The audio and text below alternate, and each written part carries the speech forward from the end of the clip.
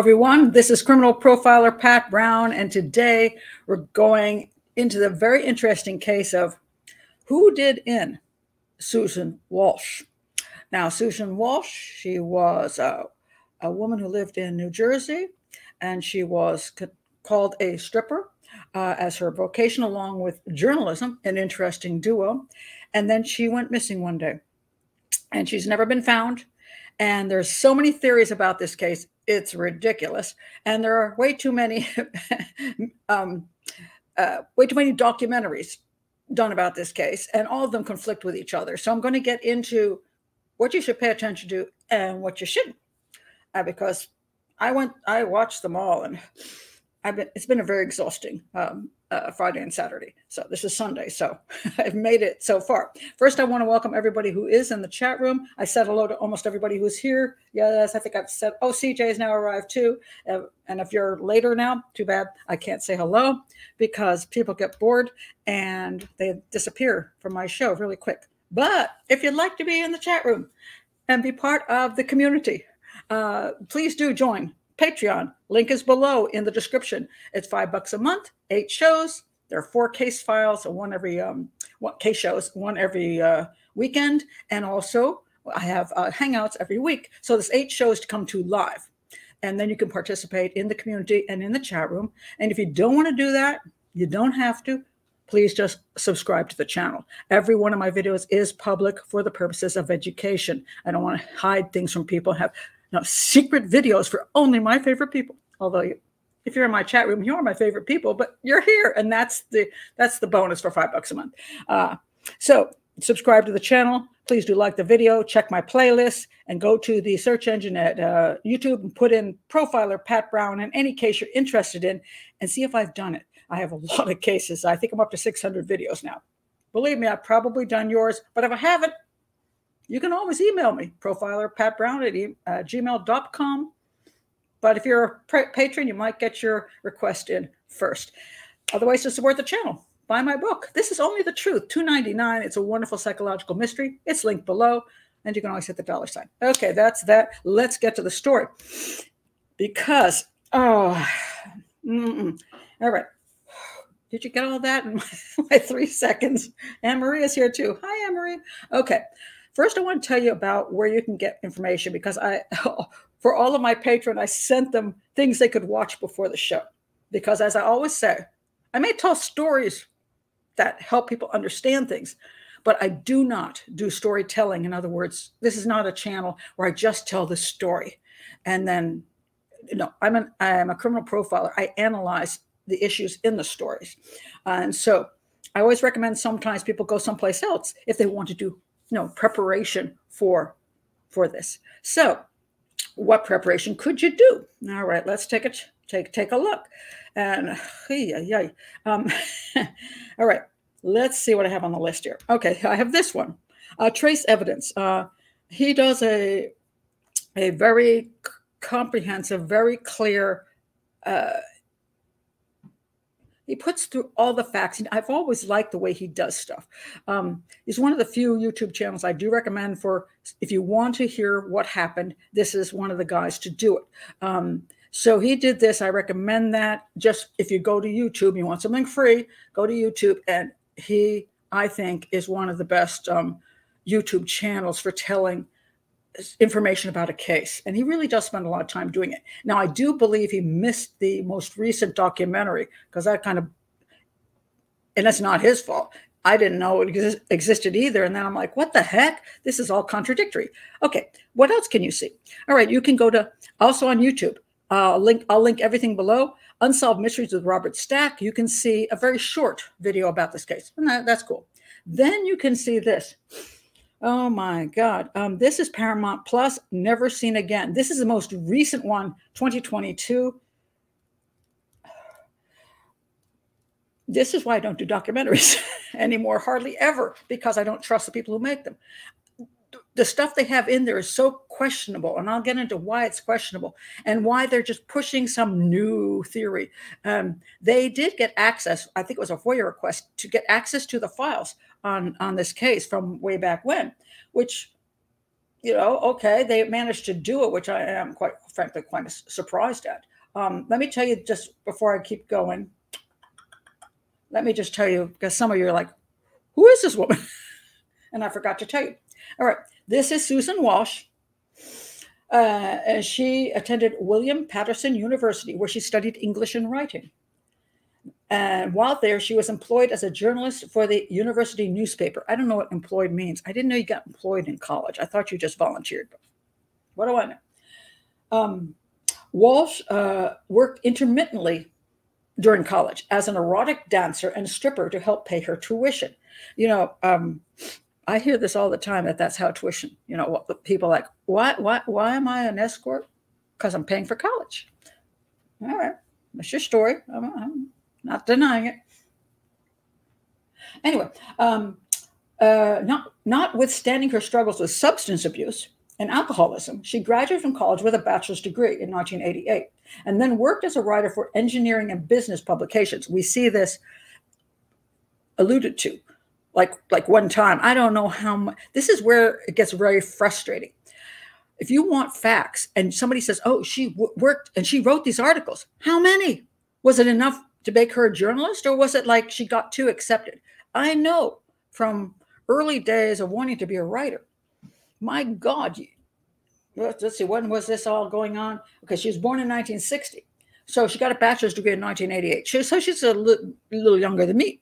All right but I wanted to be a writer and I wrote short stories and I would what you do back then they told you and you stupidly believed it that you have you used to type you know on a typewriter it was a real pain in the butt. Then you put you put the story in an envelope and you'd mail it to uh, whatever magazine you wanted to be in and hope that they would accept. And if you if you gave them a folded manila envelope inside you might get with with stamps you might get your stuff back otherwise just was thrown away and you would send and they told you you could not send your stuff to more than one publication at a time and sometimes took three to six months for them to decide if they wanted your story or not so they were like basically holding you hostage for all this time and you couldn't have like an auction like hey if five publications want my crap why can't i get the one that's best no, no, they, they had this clever little methodology, which later on I realized you should just ignore. But I didn't. And the beginning, and I set things out. And and you just, you know, it's depressing. You just send stuff out and you don't get any response. You don't get any response. You're going broke. You're not making money. And you're lucky if you get anything. One day I sold a short story to Humor Magazine. And um, they sent me a hundred dollar check. And I was so thrilled. but that's how hard it is. And uh, by the way, I think that was the end of my publishing experience back in the day. Now I've published books since then as a profiler um, and as a, as a fiction author as well. But back in the day, I, I just had this, you know, young person's idea, that I would be an author maybe. And um, this is what she was doing. So she was like, oh, I'm, going I'm going to go into journalism. Well, this is a sucky career. You know, chances of you getting anywhere in journalism is very, very limited.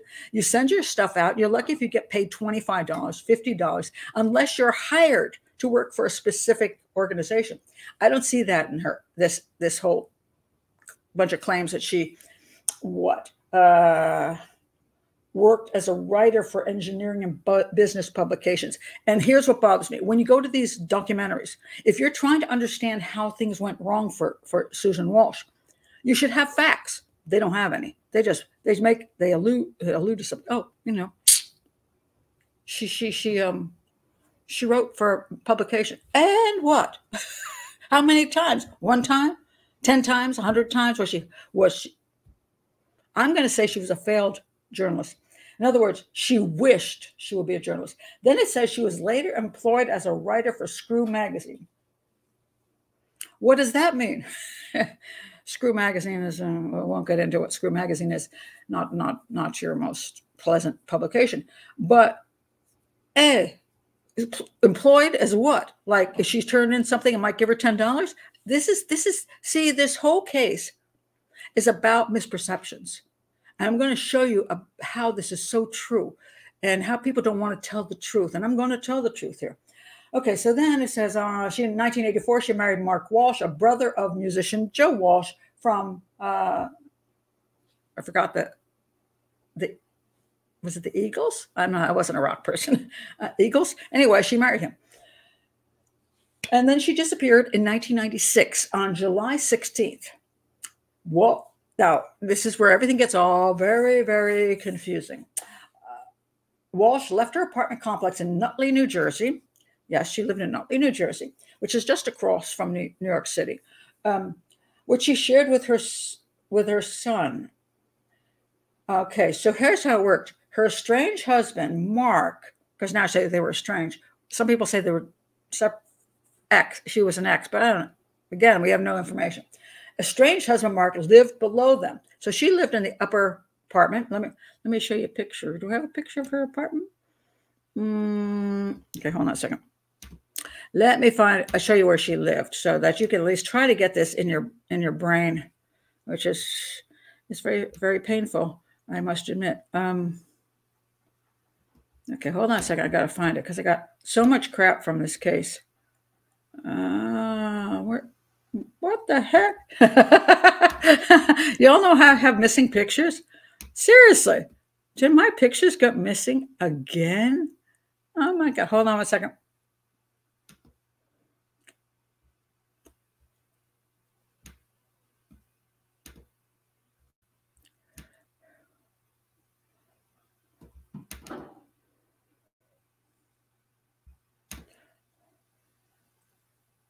Hello there. Here we go. it's not going to go well. I've been up for hours working on this case, so so many hours. Okay. This is where she lived with her husband, Mark, but but not really because now they had separated. They had a son. At that time she disappeared, the son was 11 years old. She she lived up here uh, with her boyfriend who was a vampire and and her and her strange husband lived in the basement.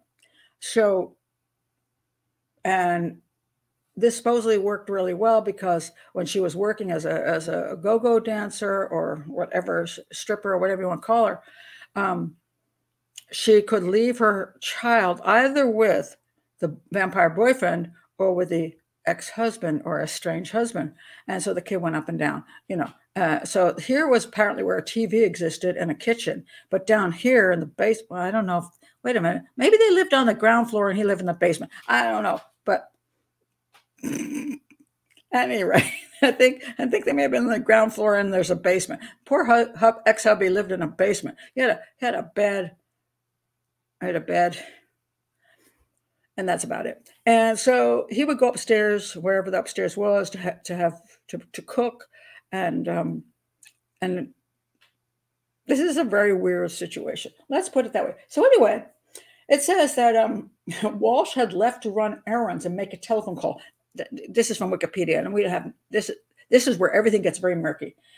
At a payphone across the street, which we don't know where the payphone actually was, leaving her son with Mark, which we also don't know is true. Um, it was the last time Walsh was seen. That is true. Walsh went missing that day. What day? July 16th, 1996. Theoretically, she went missing somewhere around noon, although people have claimed they've seen her other places. All right, that's the catch up for the story. Oh my God. You're going to have to hang in here because one of the things I want to do with this story is help help you understand. Again, this is a profiling channel. It's an educational channel. I want you to understand how things really work when you're doing investigating, when you're profiling, when you're in the media and and everything else that goes with it. I'm going to just catch my breath here and see if everybody is uh, around. if there's anything questionable here. Um, were lap dances a thing in the 80s? Kurtz, that's a good question. I'm not absolutely sure about that. Um, I forgot to look that one up. I'm not sure. I'm going to talk about the sex industry in general because that's very important. Um, not, oh, wait, wait, wait. Lila, wait, Lila says lap dances only if they pay and you have to buy them. Yes, you do have to buy the lap dance if you're doing lap dances. And then there's, I, I did go, I will admit this, I went to, when you're doing when you're googling something you have a private area where you can google where they're not going to retain what you googled so i went over to private because i actually did google this I, I actually googled if i have a lap dance can i have a happy ending i didn't use those words and because i was curious whether lap dancers permitted that or not. And it was interesting because there were a whole bunch of different viewpoints on whether you could have a okay time or a really good time. and then what do you do if you're going to have a really good time? I tell you the things you learn profiling. People, you know, I know more stuff than most people know and probably should not do. I was on the dark web. No, it's just private Google, just so my kids can't find out what the hell I'm what the hell I'm looking at because one day I'll die and they'll go, damn, mom, what the heck? Oh my God. Okay. Let me move forward with all your wonderful comments. this is going to be a very strange case. Okay. So she disappeared. And the question is, why did she disappear? Because uh, there's so many theories. Because she was a journalist and she and so I'm going to get into all the different theories about why she disappeared. But first, I want to do something that no one has done because no one thinks it's a nice thing to do. Sarah, who you're hiding under your wife's name, Sarah, we're not talking about these things. I'll be coming out your way and paying you off. oh my God. Okay, so I want to put up a picture behind me, which I was going to use as my regular picture for the show, but then I thought everybody's going to hate my guts. So I'll show it to you now. All right. This is Susan Walsh. Now, one of the things you're going to see in all of these shows is they call her a girl. I mean, I, they constantly say, oh, she's such a nice girl. Now, mind you, I want to point out this first of all. People are involved in the sex industry. Although no one's saying she's involved in the sex industry, she just a go, she was just a quote stripper slash go-go dancer. She wasn't really a stripper, they're mostly a go-go dancer, but people have titles for these things. Um, there are a lot of nice people involved in the sex industry.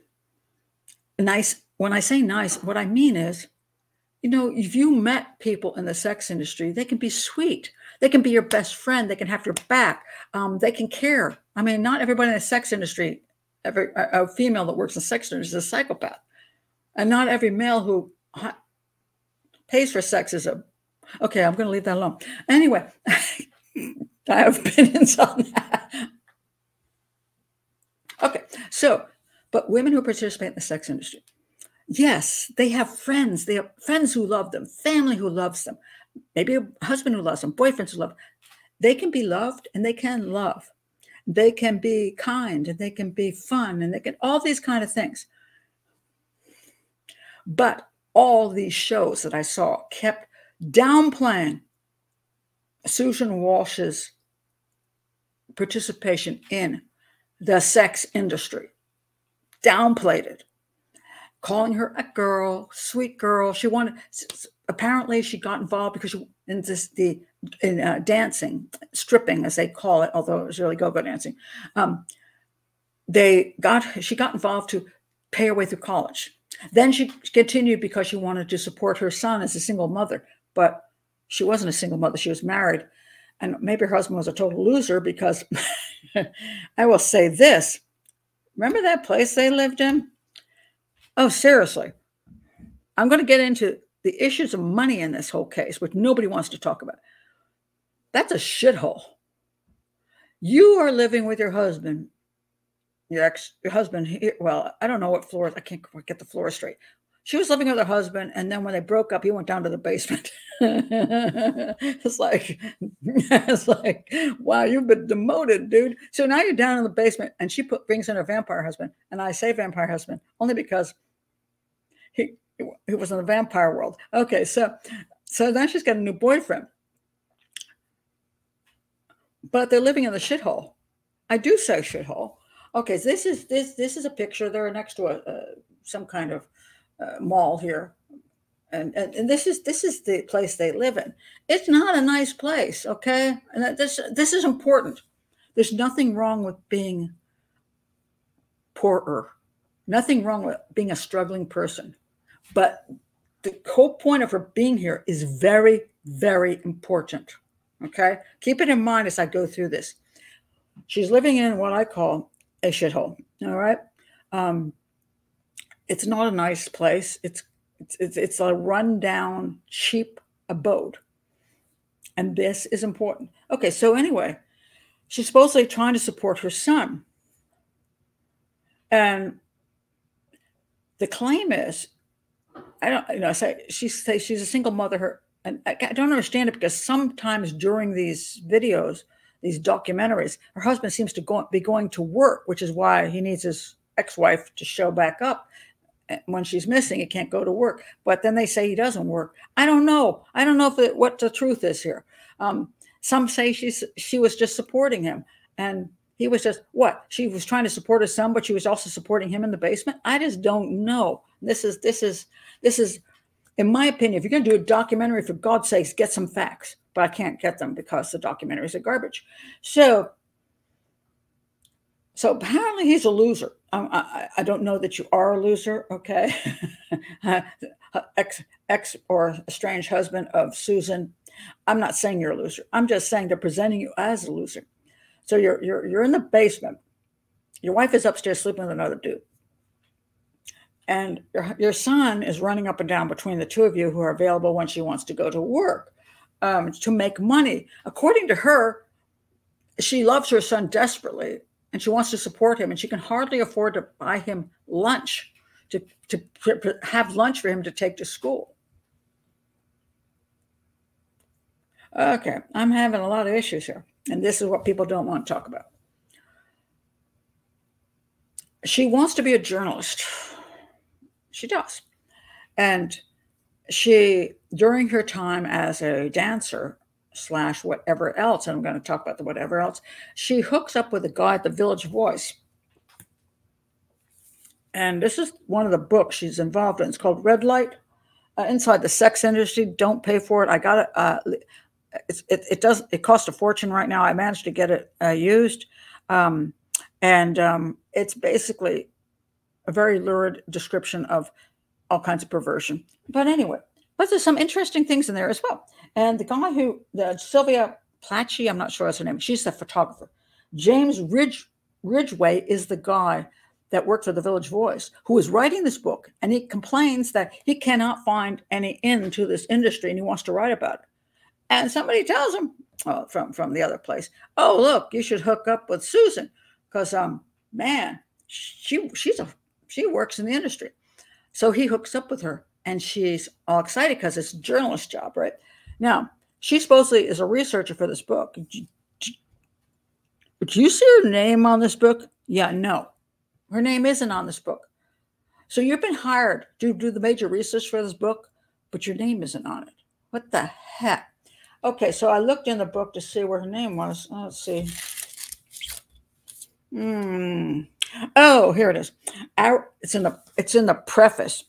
Our guide through much of this work was Susan Walsh who has written about the sex industry for Screw. That's that that's the guy who called him and told me, hey, hire Sue. I don't know that he hired Susan. I don't know they paid her a penny because she can't afford lunch for her son. And the Village Voice, uh, and also has worked on on and off as a go-go dancer, on and off. No, pretty much on because she wasn't making any money in journalism. Because she, as far as I know, she did. I can't even. She what did a couple couple articles for Screw or the Village Voice and that was going to pay our bills? No, that's nonsense. With admirable perseverance and considerable skill, Susan helped us to understand the many facets of the industry, gain asset to various places, and establish rapport with sex workers. We are grateful for invaluable contribution to the book. That's what they said about her. They used her. I, I I'm sorry, James. If her book isn't on, if her name isn't on the outside of your book, I'm going to say you used her, probably paid her nothing or paid her very little, and she was already in the sex industry. So, hey, good deal for you. And she was so excited. You just, whatever she got information for you to help you understand the sex industry, because apparently you've never made use of the sex industry. So anyway, I think she's mentioned one more time in the book where she's talking about her work in the sex industry, but it's like one paragraph again. So this is her life, and she lives here in the shithole. So when we're building up to the day she disappears, the question is, what is she involved with?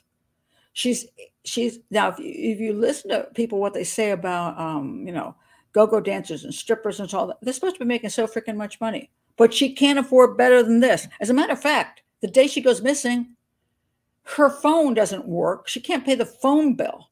That's why she tries to go down to her estranged husband's apartment or room in the basement um, and say, Hey, can I borrow your phone? And he's like, Hey, you know, who are you calling this time? He had an issue with this. He was like, If you're not calling like legitimate people, I've had people calling my house with fake names and, you know, I'm Mr. 22. Hey, this is not okay. I don't want this crap happening around me and my son. So, unless you have a real name for a person, I don't want you using my phone. So, supposedly, send her out to a payphone. That'll become an issue later. But the girl doesn't have, oh, the girl, the 36 year old woman. Let me go back to the picture I preferred to use in the show. No, not, yeah, this one. When she went missing, she was 36 years old. She wasn't a girl, she was a full blown woman. And my, by the way, not aging really well. And this is very important in the industry.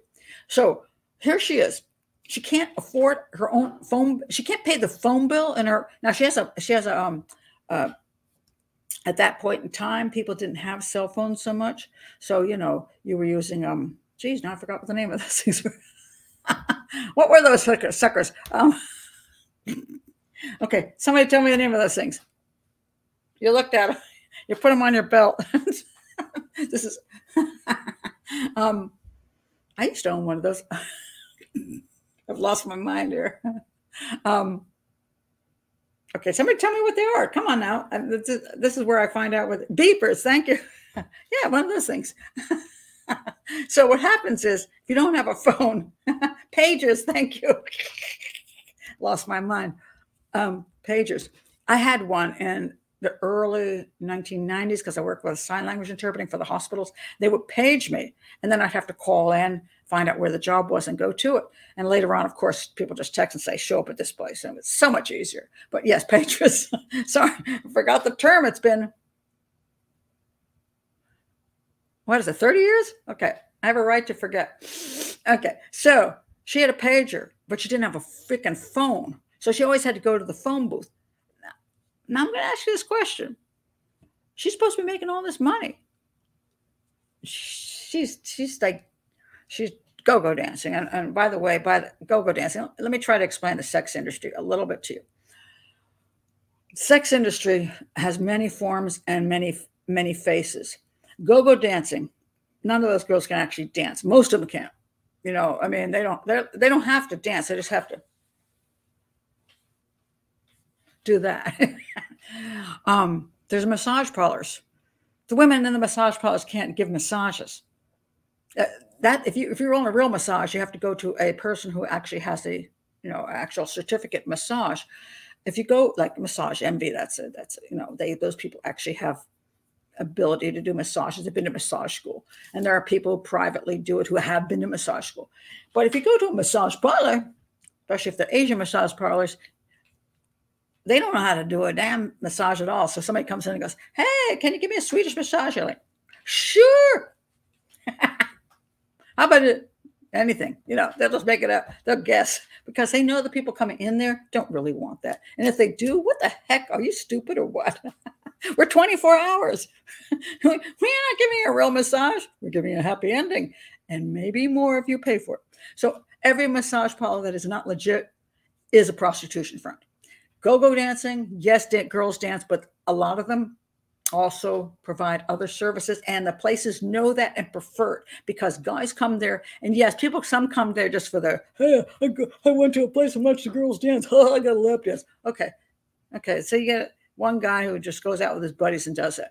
But a lot of them want more than that. They don't want to pick up a girl off the street so they go to these kind of places that they know they can make friends. Now here's an interesting thing.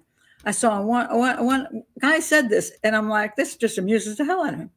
He said this Susan often dated people that she had what? Met in a strip club. you don't date people you meet in a strip club. You have sex with people you meet in a strip club. You're hooking. All right.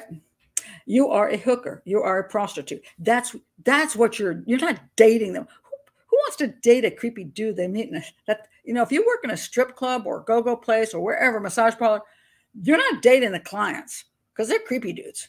All right, they're guys who want to pay you. You're not gonna go. Oh, I just want you for my boyfriend. No, if you're dating them, no, your your date is a sex date. You're getting paid for that.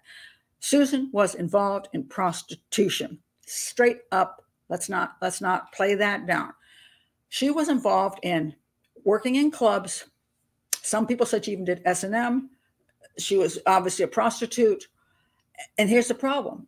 If you're making this kind of money, where the hell is your money going? You can't afford a better joint than where you're living.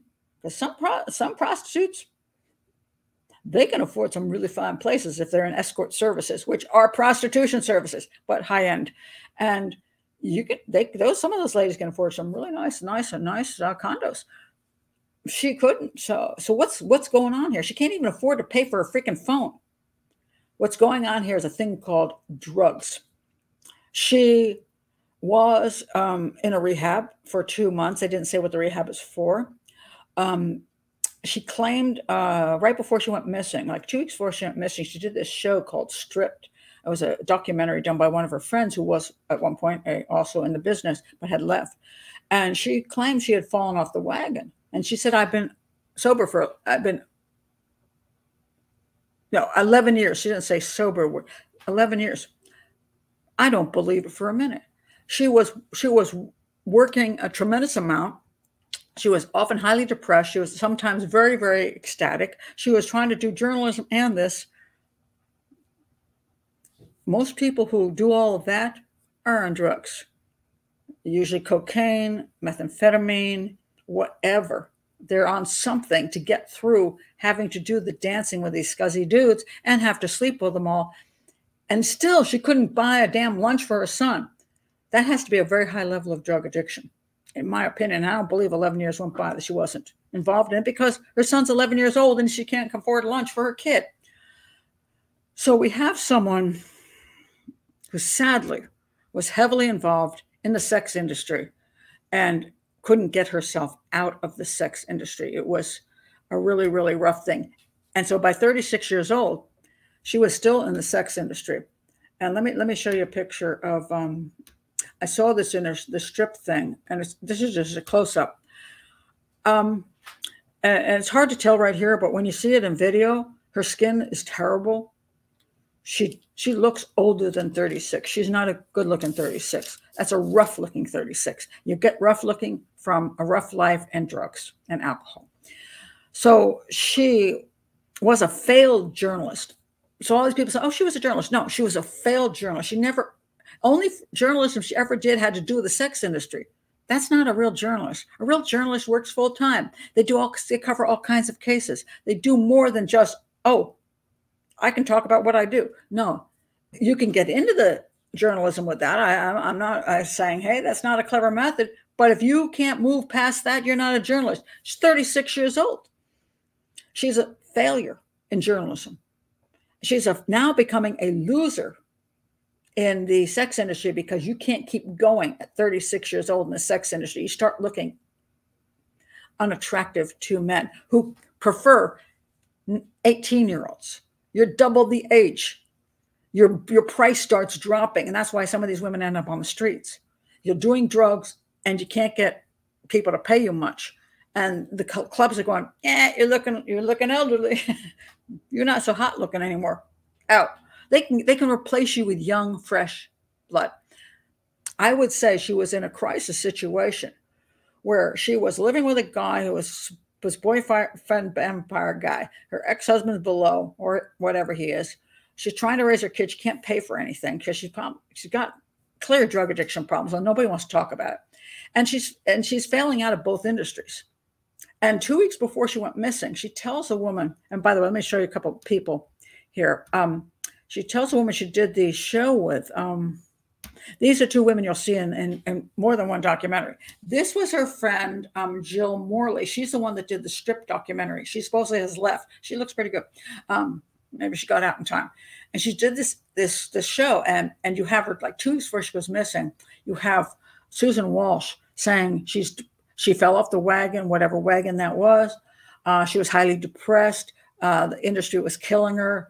Um, then she claimed she had a stalker, and she claimed a whole bunch of things. As a matter of fact, she claimed the CIA was after her, the FBI was after her, the Russian mob was after her, everybody was after her. She's clearly delusional, and they play this down too. And and uh, as far as how many things she's people she said were after her, having a stalker, yeah, I get that. You know, you're, you're dating people that you know you're you're, you're dancing for.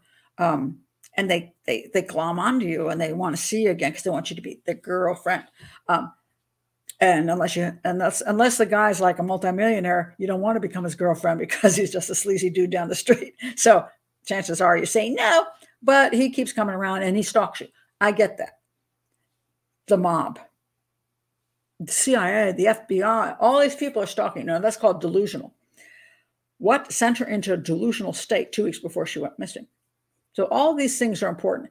And I just point this out because I want you to understand that when when when they do these documentaries, they're oftentimes very, very they, they don't know what's going on. They don't understand the world out there. They don't understand it. Massage parlors are prostitution joints, go-go places. Most of the girls in there, the more you do drugs, the more you do prostitution on the side. Um, uh, just just um, stripping yes same thing. Oh, there's just all these covers. And on top of that she went to work at this place. Oh she went to work at this place. Oh sorry not the not the not, the pizza place. That would be a nice place to work at. Where did my picture go? See it's another one i lost. She didn't go to work and she gone to work at the pizza place. Things would be kind of good you know they really would be kind of good. But no she went to work at this um and this surprised some people. Let's see if i can find the picture Hmm, I've lost it again. Where did my picture go? Oh, I've, yeah. Damn it, I have the most worst trouble with pictures. I did have the picture, it just went missing on me. She worked this place called like I think it's called Sex World. Um, hold on a second, let me find it. Um, and this it's she she lived in New Jersey. And when you live in New Jersey, there were a whole pile of like go-go places around and though some of them are actually let you wear a uh, like a like a swimsuit, you know, as opposed to being topless or whatever, doesn't mean that you weren't prostituting on the side, but at least you could wear a swimsuit when you danced around. And she went on into New York to one of the sleaziest joints ever. Um, let me tell you the name of it because now I forgot, lost my dang picture because I'm good at that. Where's my picture? Uh, I'm just looking for the name of the place now. Um, it was considered oh here. It was considered it was called show world. Show world center live nude review xxx movies and then the super vixen live. And they had like levels of floors you could go into to be a part of this. And it was really sleazy live sex shows um, and and booths men could go into and all kinds of creepy stuff. So she went there and worked there. And people are like well she's in jersey you know, if she's in Jersey, why can't why can't she work there in Jersey where she can make money and be right near home? Why is she going into New York City and working one of the sleaziest dumps ever? Good question. She seemed to have she seemed to like to walk on the wild side. She seemed to have issues. Okay. And this is why I want to point out people try to present as just a person trying to make some money. No, she had severe psychological issues. Anybody who gets into this kind of stuff and doesn't walk away from it they got some issues going on. Um, where if you're going there and you start seeing that this is probably not a safe thing to do, that this is not probably a good thing to do. Now, I'm not saying there's not women who work in the field for you know, for a number of years and then realize, wow, you know, get my brain together, get out of it. That's cool. I'm off of that. Um, but she never got out of it. She's 36 years old, and she's like, she actually said, um, I don't think I can do a regular job because I'm so ill now that I can't. I think every day I go in, I'd have to leave. Well, she's basically saying she's got a drug addiction problem, and nobody's paying attention to this. And so all these these these videos going on seem to present her as being happy the day she just disappeared. Uh, she was not, um, and I think it's important, just very important, to point this stuff out. Did danger lurk around her? Is another question. In the house that she had the vampire boyfriend and the ex husband, could they have done her in? And some people think they killed her. Uh, some people also think she was murdered by vampires. She wrote a story about vampires. She went into the vampire world because supposedly uh, the guy worked for this guy. he had this, he got this tip, James Ridgeway did, that vampires people who were in the vampire world were stealing blood from the blood banks in New York. He, he suggested she check into that. So she checked into it and it came up a dumb story. So, but anyway, she she got herself her own vampire and then she was involved in a lot of kind of creepy things. And um, they dumped the story and she was really pissed about that. Then she wrote another story. It's called, um, so you see her name Walsh here, but see Ridgeway gets the main part of it. But Russian bear, Russians bear in Jersey bars. So now the concept is they're bringing Russian dancers in and they're ending up working as prostitutes as opposed to being actual dancers. Um, and so the Russian mafia is now after her. So, do these worlds exist? Yeah, they exist. They do exist. And I'll, I'll tell you a little story because I do have a story. I'm not a storyteller about this, this stuff, but I want to tell you a little story about. So, I'm find it. Here we go. Here's a picture. That is me and that's a friend of mine who's with me. I won't give her name, but anyway, we're nine. I was 19. I think she was a little older than me. My father took this picture because I wanted to be a model, you see, and so we dressed up and he took some pictures for uh, of us. And I was planning to go at some point to Hollywood, and and I did, and that didn't work out well because I didn't cooperate with the casting couch. But anyway, for some freaky reason, and I do not know the answer to this, my friend and I decided to go to New York City. I drove because I had a car. She did not I don't even I don't remember why we went there, how we ended up there, and how we ended up. We had a we had a job possibility. It was a club, but we thought we were going to be hostesses. okay, so we went in this club. It was very fancy, but also kind of had that feeling of fake fancy. You know what I mean? And a lot of guys flashing money. And we I, we brought in to, for the interview and we both got, did the interview. And then we were told we could come back and start work the next morning. We walked out of there and we both looked at each other and said, I'm pretty sure that's mafia. I don't know if it's Italian mafia or Russian mafia, but we got in the car and we just drove out of there. Um, I still have no idea how we ended up there, but we knew right away that this was creepy. All right. So so Susan was involved in an extraordinarily creepy world. There's nothing nice about this world that she involved herself in. She, it's a rough world.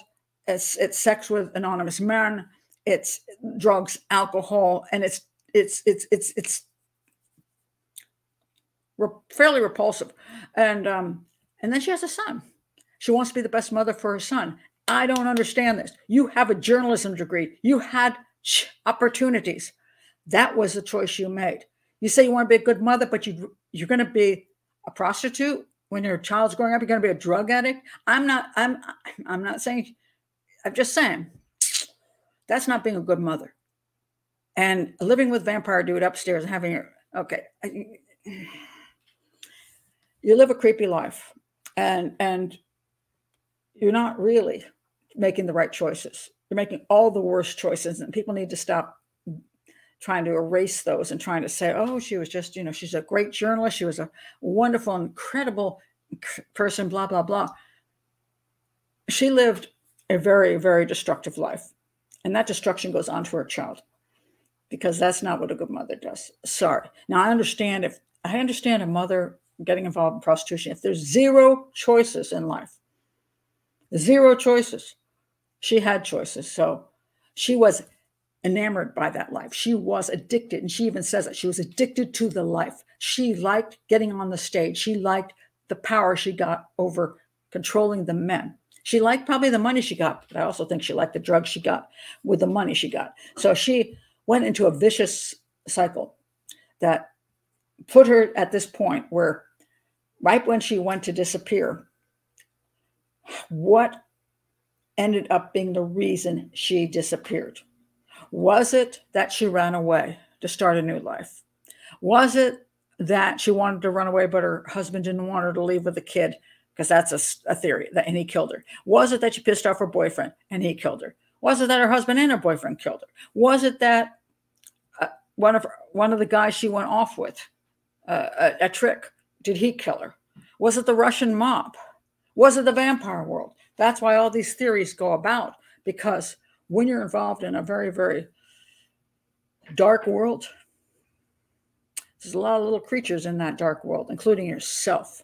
And that's very important. So now I'm going to get on to the day she went missing. But I wanted to bring up before we started, because nobody else will do it, is what world she actually lived in and where her brain was at and wasn't a good place. It was absolutely not a good place. I'll check your comments and then I'll go to the day she went missing. All right. Um, um, we don't know that, Sarah. Grabbed by a client whose paid she returned. We see this is this is where it gets very convoluted, and I'll get into all of that. Um, uh, I would say she was definitely on drugs. There's just there's just oh sorry, uh, probably on drugs. Absolutely. Just she she basically admits that, and this kind of world to be able to to manage it, to be to be able to work all night long, come home, try to supposedly take care of your kid and do journalism. I'm going to say she's on some kind of amphetamines. Um, don't know what they were. But the, the more important thing is she's broke. If you work this much, turning tricks and making money at bars, you should have some money. But she's always dead broke. Why?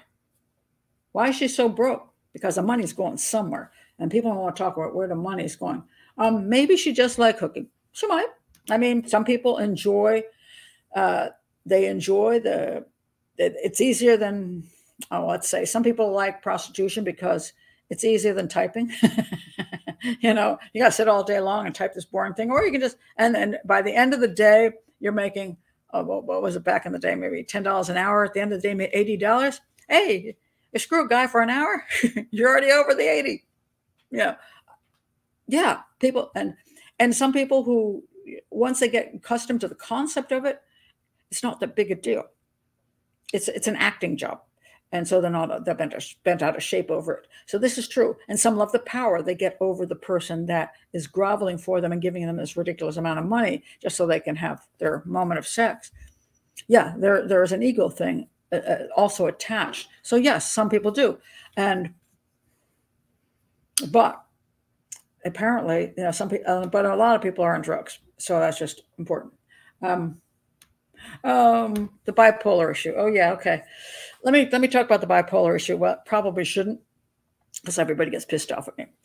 Um, bipolar is a more recent designation for a person who seems to have varied up and, ups and downs.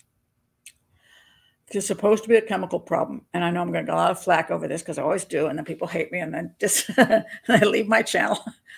But there's no, there is no proof that it is a chemical disorder. I'm sorry, there just is no proof that that is what it is. What often happens is people go in because their lives are out of control, um, because they can't handle the ups and downs, because some people are very highly narcissistic. And what'll happen is, like, for example, let's say you're, you're a comedian you go on, you know, you go on stage and you perform your act and everybody boos you off the stage. You you you know, before you get on, you're like on a on a high, and then they boo you off the stage and you drop like a rock. And, and a lot of people in the entertainment industry have high levels of egos. And when their egos are being supported, they're zippy. And when their ego's not being supported, they crash. Now, some people say, no, that's not what uh, bipolar is about. It's like you completely go out of control. You just run around like you can't sleep for 24 hours. We can argue that all day. She was at some point supposedly diagnosed as bipolar and given some medication. But she was a drug addict and an alcoholic. So, and she seemed to have an, an addiction to the industry. So I can't say whether the bipolar label to me uh, is meaningful outside of the fact she had emotional problems and it's clear she has emotional problems. She's chosen to work in a field, even though her child is growing up in that field. and she she can't seem to get away from it. That means she has severe emotional problems. What whatever they are, it could be the supposed bipolar. She could she could um, be borderline personality disorder. Who knows? We just don't know. Um, let's see. Um, let's see. Um, um, I'd be interested in knowing how long she, Jill says she's been in the sex industry, how she was introduced to it, and how her involvement changed over time. Um, I don't. I'd like to know that myself, Jill, because none of these uh, none of these documentaries bother to tell us. Um, apparently, she supposedly got into it during uh, college um, to pay for her college bills. A lot of times, girls are introduced by other women that they meet, and they go, "Hey, you should come down here. You, can, you know, you can make good money. You, you, you know, you, you need money. I got a way for you to make money." Some girls don't know what they're getting into. They think they're going to just dance. They think they're just going to give a massage. They think they're just going to do something that's not um, prostitution. They find out within a day that it is prostitution because, like in a massage parlor, if a girl shows up at a massage parlor and she actually gives a massage and nothing more, the next day she's going to be fired. At least the boss will bring her in and say, Hey, the guys are complaining about you. Nobody had happy endings. Nobody got a blowjob. Nobody got anything from you. She's like, Oh, I don't want to do those things. Well, then you can leave right now. Because why do you think the guys come here? Do you think they come here for a freaking massage? Because you all have no talent for massages. There's a place down the road that gives legitimate massages for way less. you think the guys come here at two o'clock in the morning because they have shoulder pain and they get girl named Tammy, Tiffany, who's going to give them a great massage for their shoulders and she's dressed in underwear? Come on now. you know, and so what happens is the girl realizes that she uh, goes along with the program or she's fired. Well, a lot of times what will happen is the girl will go in there and when the guy pulls out the money, let's say he pulls out $100, two $50 bills and says, hey, and the girl's thinking, I could be making $10 an hour. It would take me $100. Oh my God, I could be over with this in 30 minutes. And she takes that money. And then she takes some, some money from a bunch of other guys. And by the time she gets home, she's got more money she made in one day than she might make in a week or two working a regular job. And then she's she's hooked and becomes a hooker. Yeah. So that's how it works. I don't know how that she got into the field. Somebody obviously introduced her or she answered an ad. Um, but she got in when she was very young in college. So she was in at least almost a decade and a half. And she got, she, I say, some people said absolutely she got into prostitution. She was in a, uh, uh, sadomasochism stuff. I mean, I don't know if it's true. I don't know what she provided in her services along with dancing. But what bothers me is she doesn't have any money from it, which means to me it's drugs because there's no way you cannot afford a freaking phone. The business is about phones. You know, you can't afford, afford, afford a phone in your house. Where the hell is your money going to? Can't afford to give your son a, a lunch. That money's going straight into drugs, in my opinion. And I, I, you know, so that's one. When she goes disappearing, drugs may be a huge issue here. Um, so yeah. Um, let's say. Um,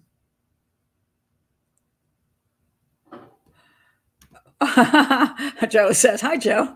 The, the, the paper with murdered by vampires articles looks suspiciously like a UK tabloid." Joe, we have tabloids here too, but yeah, the UK kind of specializes in in them. That is absolutely true. All right, let me get to the day she goes missing. And here's where things get really bizarre because every documentary tells a different story. The main story is this. All right. All right, let's go to where she lives. Where's my picture? Do I, did I lose a picture of where she lives? okay, here we go. There we go. All right. So this is important to start here. All right. Now, the original story is this that around 12 o'clock, let me look at my notes because I got a bunch of them from every documentary. And so now I'm totally confused. this is what that does you. I mean, I have spent, let's say, four documentaries and a book.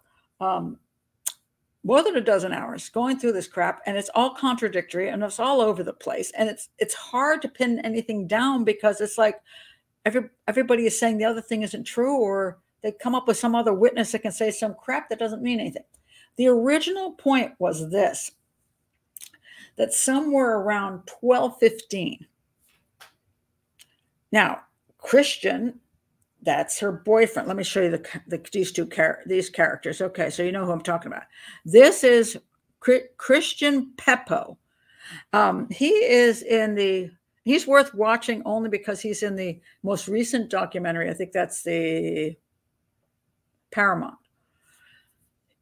that's a creepy dude. Let me tell you, he is creepy, and he always calls Susan Susan Walsh. I'm like, wasn't that your girlfriend? Why would you call her Susan Walsh all the time? It, he's a weirdo, and I think he's a liar, and I don't trust him as far as I can throw that guy. But what a creepy dude. But he was in the vampire community. I think I'm right about that. He was Anyway, that was her boyfriend that was living. He got to live outside of the basement. He got to live up where the lights are. and this was her husband, Mark, who lived in the cellar. All right. So the original story is something like this, and it, it, say it changes constantly. So I'm going to get, try to give you the original story. That Susan goes to Christian. Christian is sleeping. It's 12 o'clock, so we wonder why Christian is sleeping. Um, uh, he apparently has a job he goes to in the afternoon, and I don't know when he starts his job. I don't know what the hell the job was, but he takes a bus to New York City. Um, and he's sleeping till noon. So I'm like, whatever. Right. Kind of like to sleep till noon myself. But anyway, he's weird. I'm not. so anyway, he he's he's taking another nap. And and Susan goes, hey, she goes, I'm I'm I'm going out. Um and I gotta make a phone call. Something like that. So then she goes down to the she takes her son. This is the original story. She takes her son and she goes down to the cellar and she says to Mark, Watch my son. I got to go make, watch our son. I got to go make a telephone call. And supposedly you say, Well, he's got a phone. Why doesn't he let her use the phone? Well, apparently his problem was that she was making phone calls to people who didn't have names. Why didn't they have names? Because they were tricks. Okay. tricks are drug dealers. Tricks are drug dealers. So he's like, I don't want this crap coming through my phone. You know, I don't want you calling this kind of garbage. You can call a, a, documentary company, you can call a friend, but I want to know what their name is before you call. I want to know you're calling a real person. I respect this guy for this, and I think that's perfectly reasonable. One does have to wonder why he hooked up with her in the first place, but maybe he did see her at a time when she wasn't dancing. Um, and I don't know, but maybe he's just trying to be near his son, so he's putting up with everything she's got to offer. So he's like, well, I'm, I'm over it. She's already obviously a prostitute. So she wants to hook up with a vampire upstairs and have different boyfriends, which he had quite a few of them. Um, I'm just going to go along with that because I want at least see my son.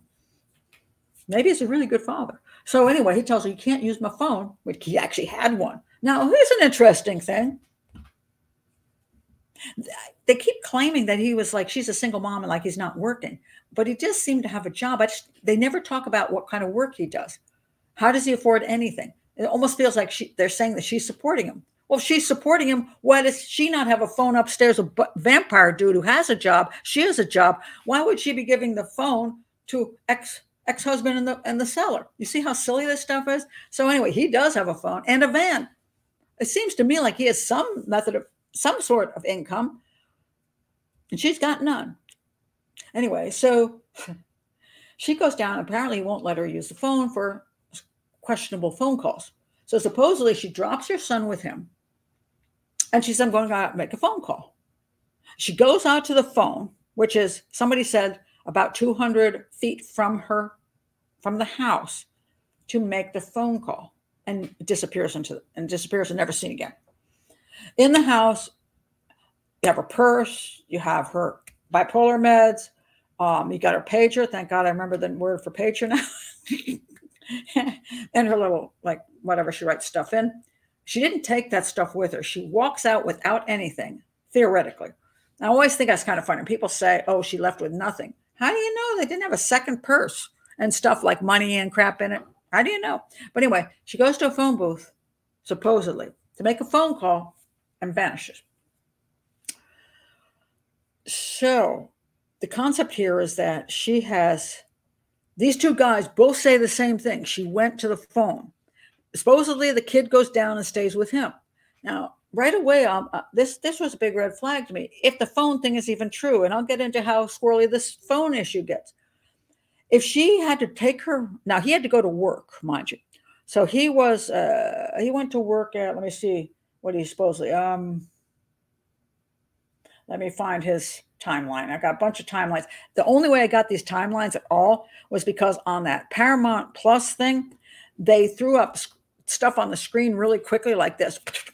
And I'd like hit the screenshot like over and over again and then try to blow it up so I could see anything because they're trying to make, they're trying to give com, they're trying to say this is what these things mean, but they won't let us see these things. You see, this is how they work. So, so um, Christian Peppo, he says 1215, Susan spoke with him and then she left. Okay. That's when she went supposed to make this phone call. Um, then it's the 1215, uh, she woke him up, went, I got to go make a call. He says she left the apartment alone, which is interesting because wasn't she taking her son to her ex? I don't know. But anyway, then um, he goes to work. Uh, he, he leaves for work at 145. So at 1215, she supposedly wakes him up. Supposedly takes the son, down to him, and then at 145 he leaves. Well, she's taking her son to stay with the ex in the cellar. She obviously believes he's got to leave, and therefore she wants somebody responsible for her son. But if she's only going to make a simple phone call, why the heck does she need to leave her son with him at all? Why not just leave him up with this dude? Why would she even do that? I mean, if you're only going to be gone for five or 10 minutes, the kid's 11 years old, too, it's not like it's a two year old. I mean, the kid can run up and down the stairs for hours and it's, nothing's going to happen to him. Why couldn't, if she's not even gone for half an hour, why wouldn't she just tell her son, I got to go make a phone call and leave him wherever the hell he is in that place? But supposedly she takes him to him. And that immediately set up a red flag for me. I'm like, it almost seems like she knows that he's going to leave for work and her son will be there alone. So she's taking him there, the son to the ex, because she needs him to watch him past 145. So she's not just going to make a little phone call, is she? She's going to do something else. She either made the phone call and somebody picked her up and then she went off, or she ran off, period. Went off with a drug dealer or whatever she ran off with. Their agent, as the friend says, agent, really drug dealer. No, did she go? No, go going off to do drugs. But she wanted her son safe, so she left the son with the husband. That was the first thing I thought. Then we have another story about the she goes off to the phone booth. This the phone booth, by the way, is in, in three of the shows. I mean, it's everywhere. It's like the phone booth, the phone booth, the phone booth. She left at what was it, twelve fifteen? She's goes to the phone booth to make a phone call. Now she did use the phone booth a lot because she had a pager, and I guess he wasn't home or and the phone was not working. She'd go to the her friends say, "Yeah, I, I paged her," and she'd go to a phone booth wherever she was. All right. So now we have this interesting situation. Now we have a story that supposedly she goes off to the phone booth, but then she's never seen again. Ah, but then we get fascinating information. The pizza shop across the street, a guy working there saw her. Let me show you. That was a picture. I was, this is it. It's uh, what is it? I can't even read that. Ritaco? Is that Ritaco or Relaco? Okay. Anyway, they're the brothers. They have a brick oven pizza, probably really good because not in Maryland. And I wish I could have some right now. Supposedly, this guy in the pizza shop saw her leave the phone booth and return to her house. Oh my God, now that is breaking news. Because if she didn't disappear from the phone booth and she actually went back into the house, what about these two guys? And ah, they didn't. They did see her after she made the phone call. All right. So here's the problem there.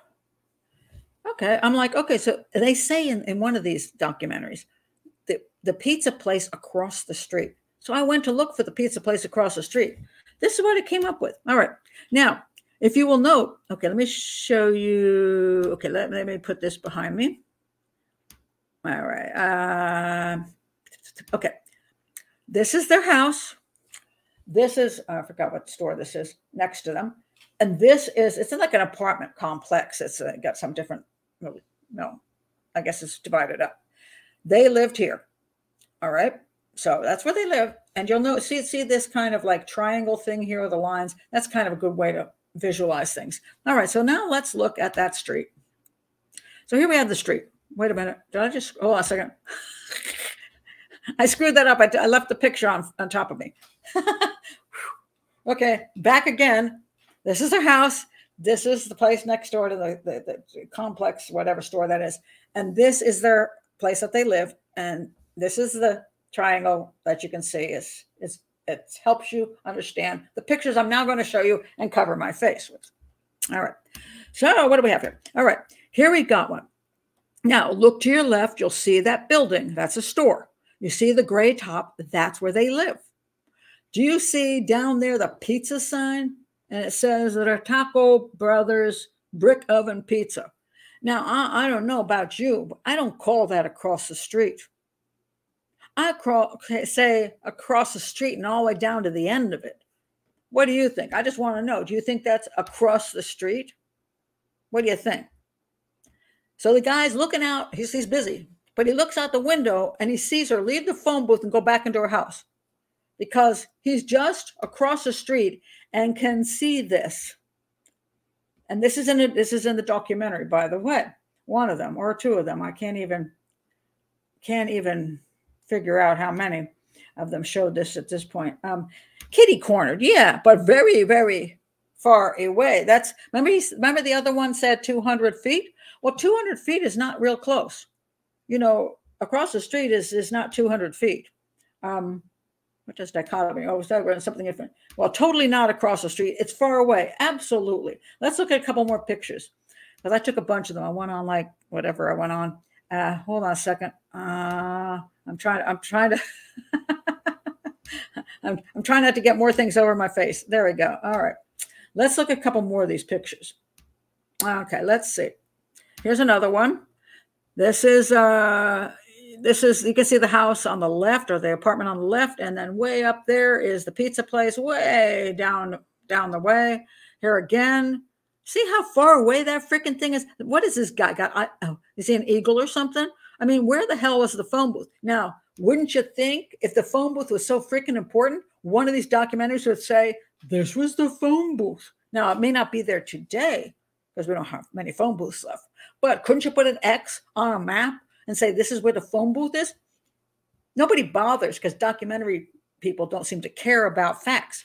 And so i don't know where the damn phone booth was at all. I mean i have no clue. So i'm looking at this going well the guy's looking out the window of this pizza place where the hell is the phone booth and how would he see her go to her house? He might see her walk away from the phone booth but unless that guy's a stalker which she claims she has you know i'm like what the heck? How's he going to see anything that distance? And why is he paying attention? He's supposed to be working. So, and who is this person? So, the concept that she went to the phone booth and then somebody saw her return to the house is very questionable. And this is an important thing because if she did return to the house, it would make things different. It would make sense that she left her stuff in the house, but it wouldn't make sense still that she would tell, she, would have to put her child with her her uh, husband because she's only going to make a phone call for God's sake. She's going to be right back. You know, that's not unnecessary. So I have a problem with the phone booth thing all the way around. Did she go to the phone booth? Did she ever go to the phone booth? Was she ever wanting to go to the phone booth? Now, I think two things are possible. One is they say there were no phone calls ever made from the phone booths in the area. And I don't know the validity of this, but in the latest show, they have some paperwork, which I don't know the validity of that either. Um, but is it possible? She said, I'm going to the phone booth. She had already made some earlier phone calls. And now she says, I'm going to go run out to the phone booth. Was she going to meet somebody out there who was already pre planned? And she was going to meet them and, I don't know, get drugs from them, do a trick, turn a, tr- turn a trick and get drugs? And, and vanished right there. That person drove off with her, and that was the end of it. Or did she run off at that point? Did she decide, I've got I've got stuff in a little bag here? Nobody says whether she had anything in her hands or her pockets or whatever. She could have said, I'm going to leave my stuff here because I don't want people following me. I don't want my ID because I don't want people to know who I am. I've got some money. I'm gonna I got somebody to grab me. I'm gonna go off someplace else. I'm gonna turn I'm gonna turn tricks because I need drugs. And there was a woman who said two weeks afterwards that she came and stayed with her in, a, I think it was Trenton or was it Newark?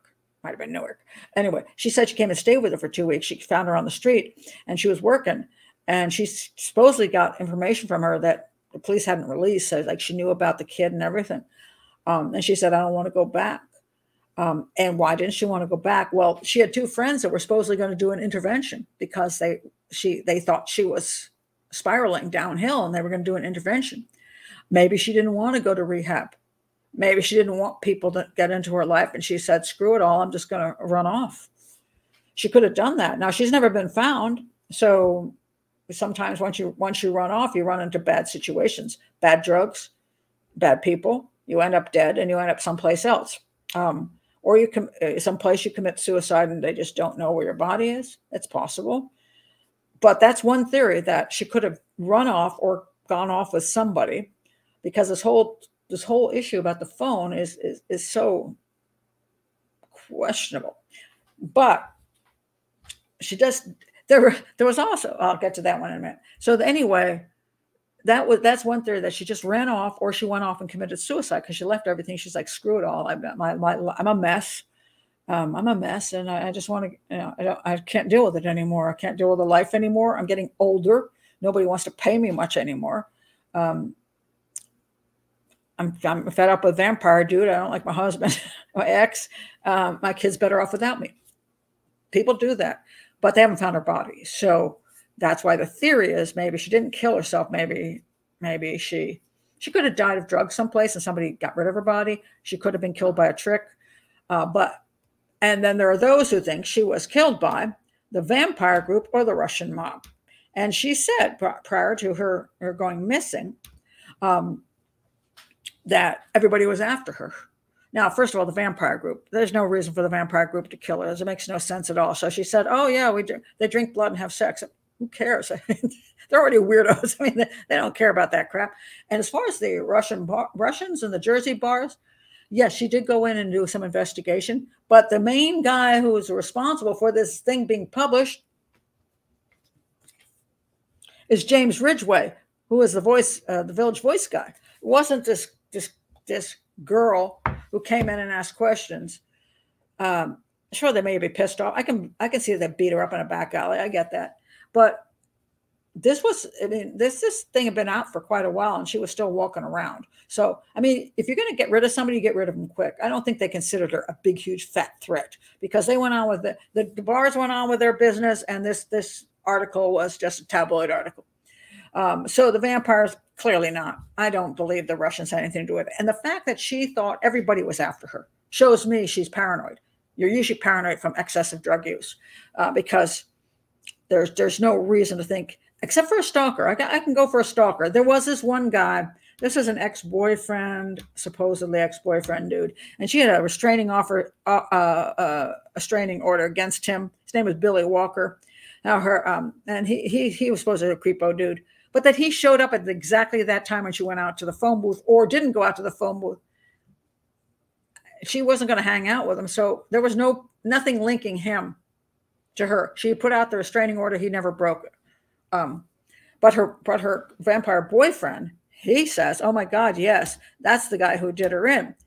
And so some people think, well, it's because he's trying to protect himself. You know, he's a creepy dude. Maybe he killed her, or maybe helped him helped him kill her. so I will say this: I see nothing that says the Russian mob, vampires, even a stalker, specifically killed her.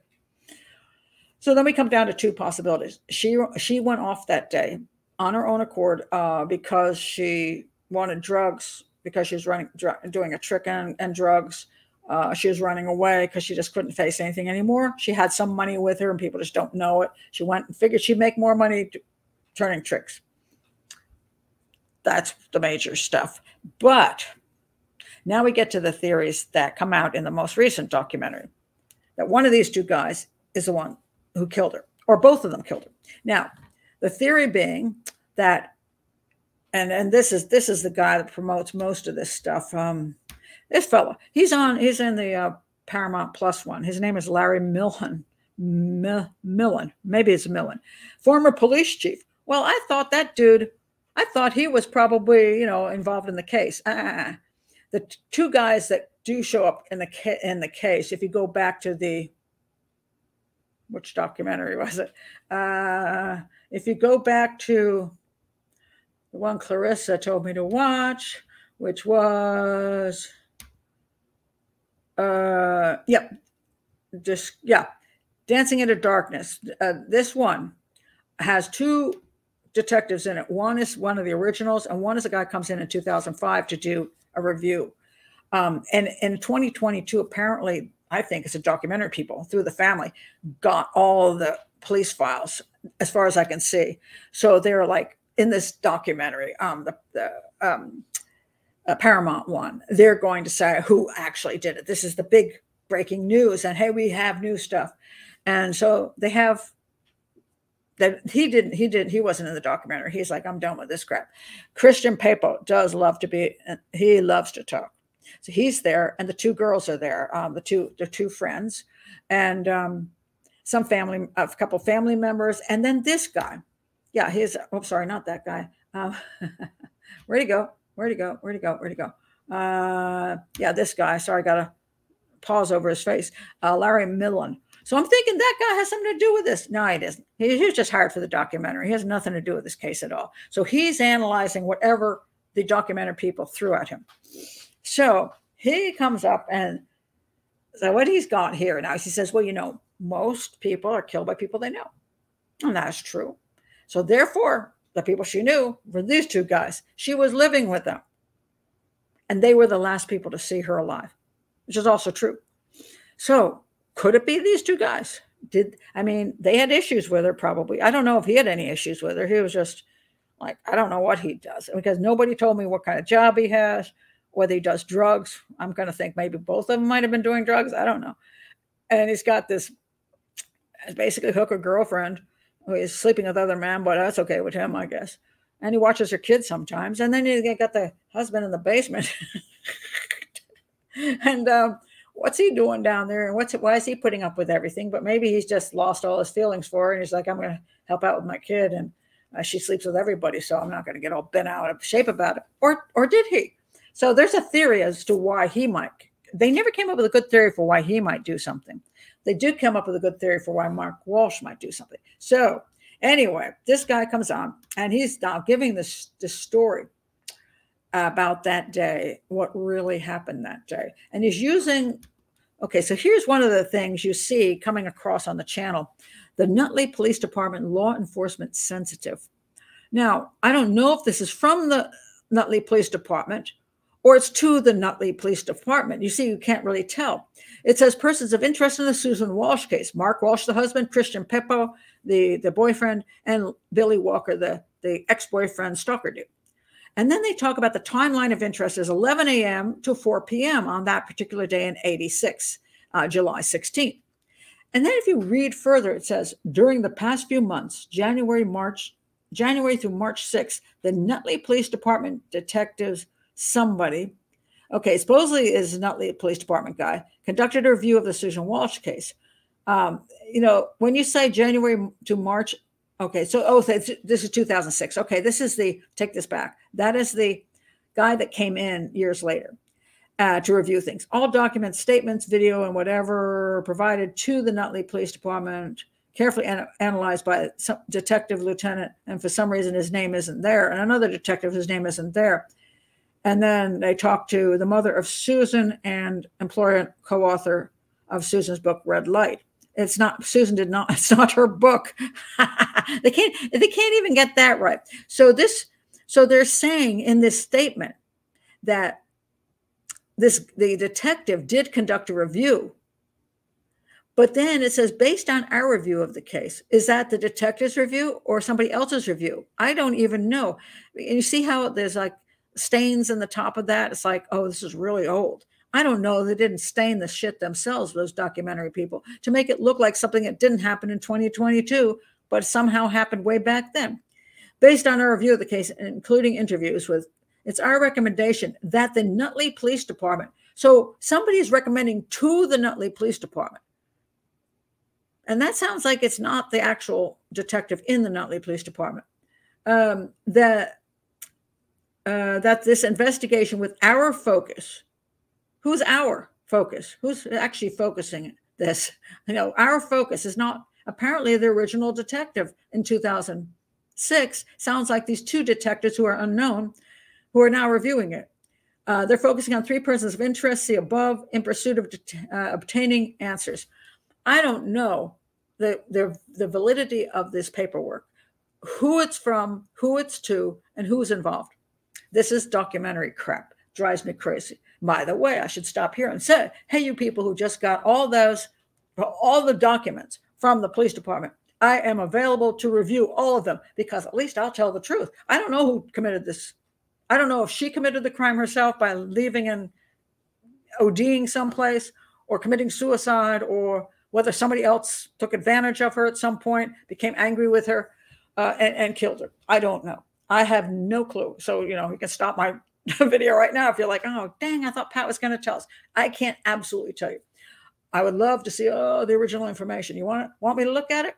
I'm available because from what I'm seeing from the documentary, it's garbage. So if the family is out there who has information and wants me to review it to determine whether ex-husband has something to do with it or paper had something to do with it or whatever i need to see the originals because it's all very conflicting information so the, so the guy comes out and he starts push, pointing to things and what one of the things he points to is this he says when, you, when i look at all the information nobody talks about in the in the supposed police reports i'm looking at Nobody talks about going to the phone booth ever.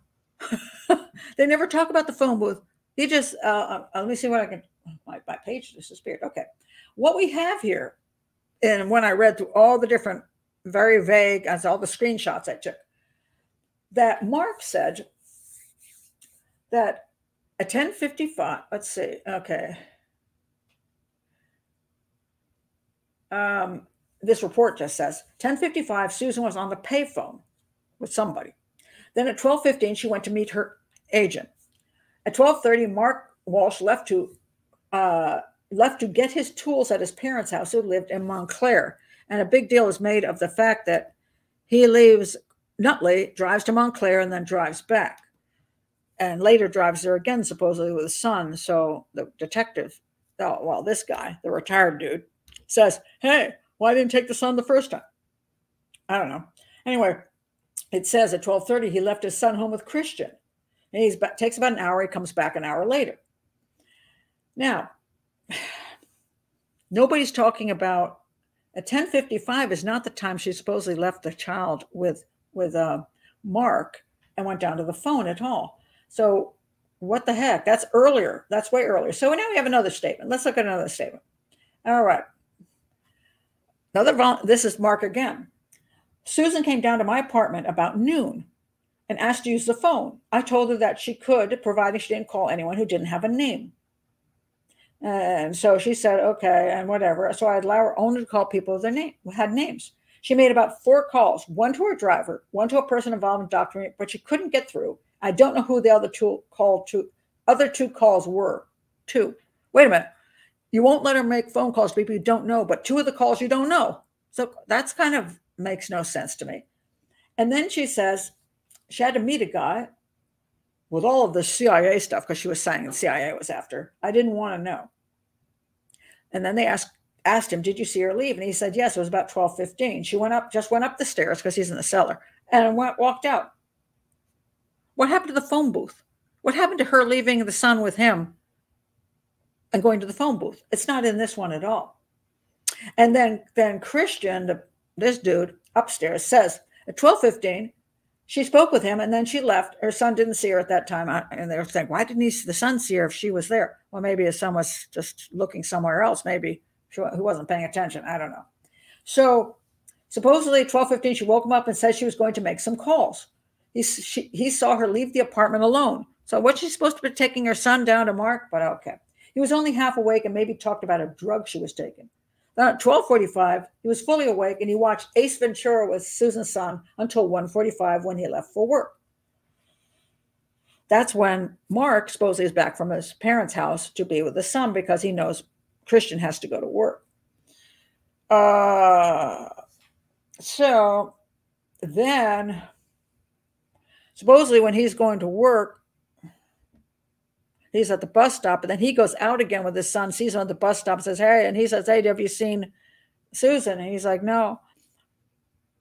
What happened at the phone booth? Where's the phone booth gone missing? Now she never seems to have gone to the phone booth at all. She seems to have just left the house. She made some phone calls and left the house. Who's telling the truth here? I mean, it makes no sense to me at all. Then we get another interesting statement from a girl by the name of Melissa. This was one of these women, though her friends. This is Melissa, who was all work was also, I think, a sex worker at the time.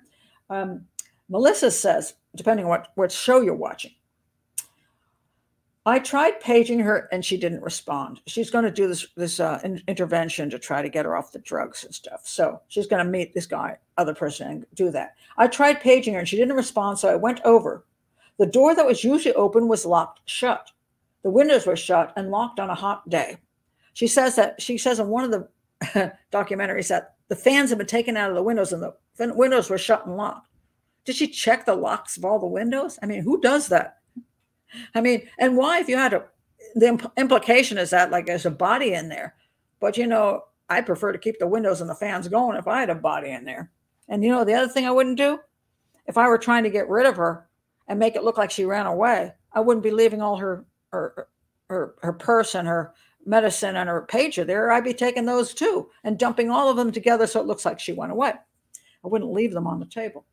Um, then she says, there were no cars there at the time, so that means Mark was not at home. So this is about three o'clock in the afternoon. It's very they again they're not doing things very properly. Like if you're going to give a, a, documentary, could you get the facts so we know exactly what happened? Um, I knew something had happened. She thinks it's weird that she's not there. Right. I returned an hour later, and Mark pulled up. David was with him. That's that's a son, and they had bags from Staples. I guess they went to uh, there to get school supplies they said they hadn't seen um, uh, Susan. So about four o'clock, Mark pulls up with with his son after going to Staples. Now I don't know about you, but I think that probably if he just killed his mother, going to Staples for school supplies is kind of unusual. But you know, maybe he's got a cool head. You know, where's her body at this time? I get is it in is it in inside and the, and the windows are all closed and and just so she didn't leave the house. She they got in an argument, I guess. Okay, and let's see. And then an hour later, the other friend, Joey, he's a guy that um, uh, is a driver for her, uh, takes her places because she doesn't have a car. You see, and also sometimes they they they double as um, uh, essentially as guards, uh, security for you when you're tricking. Okay, um, he waits an hour. She doesn't show up. And so next day, Mark calls her. So she's missing then. She's clearly missing because uh, her friend is supposed to get together with her. Joey shows up to take her to work. She's not there. She never shows up supposedly any place. And the next day, 24 hours from then, Mark goes to the police and says, Hey, she's missing. And some people make a big deal of that because they're like, well, you know, what took them so long? Well, I'll tell you, you go to the police before 24 hours, they're not going to listen to you.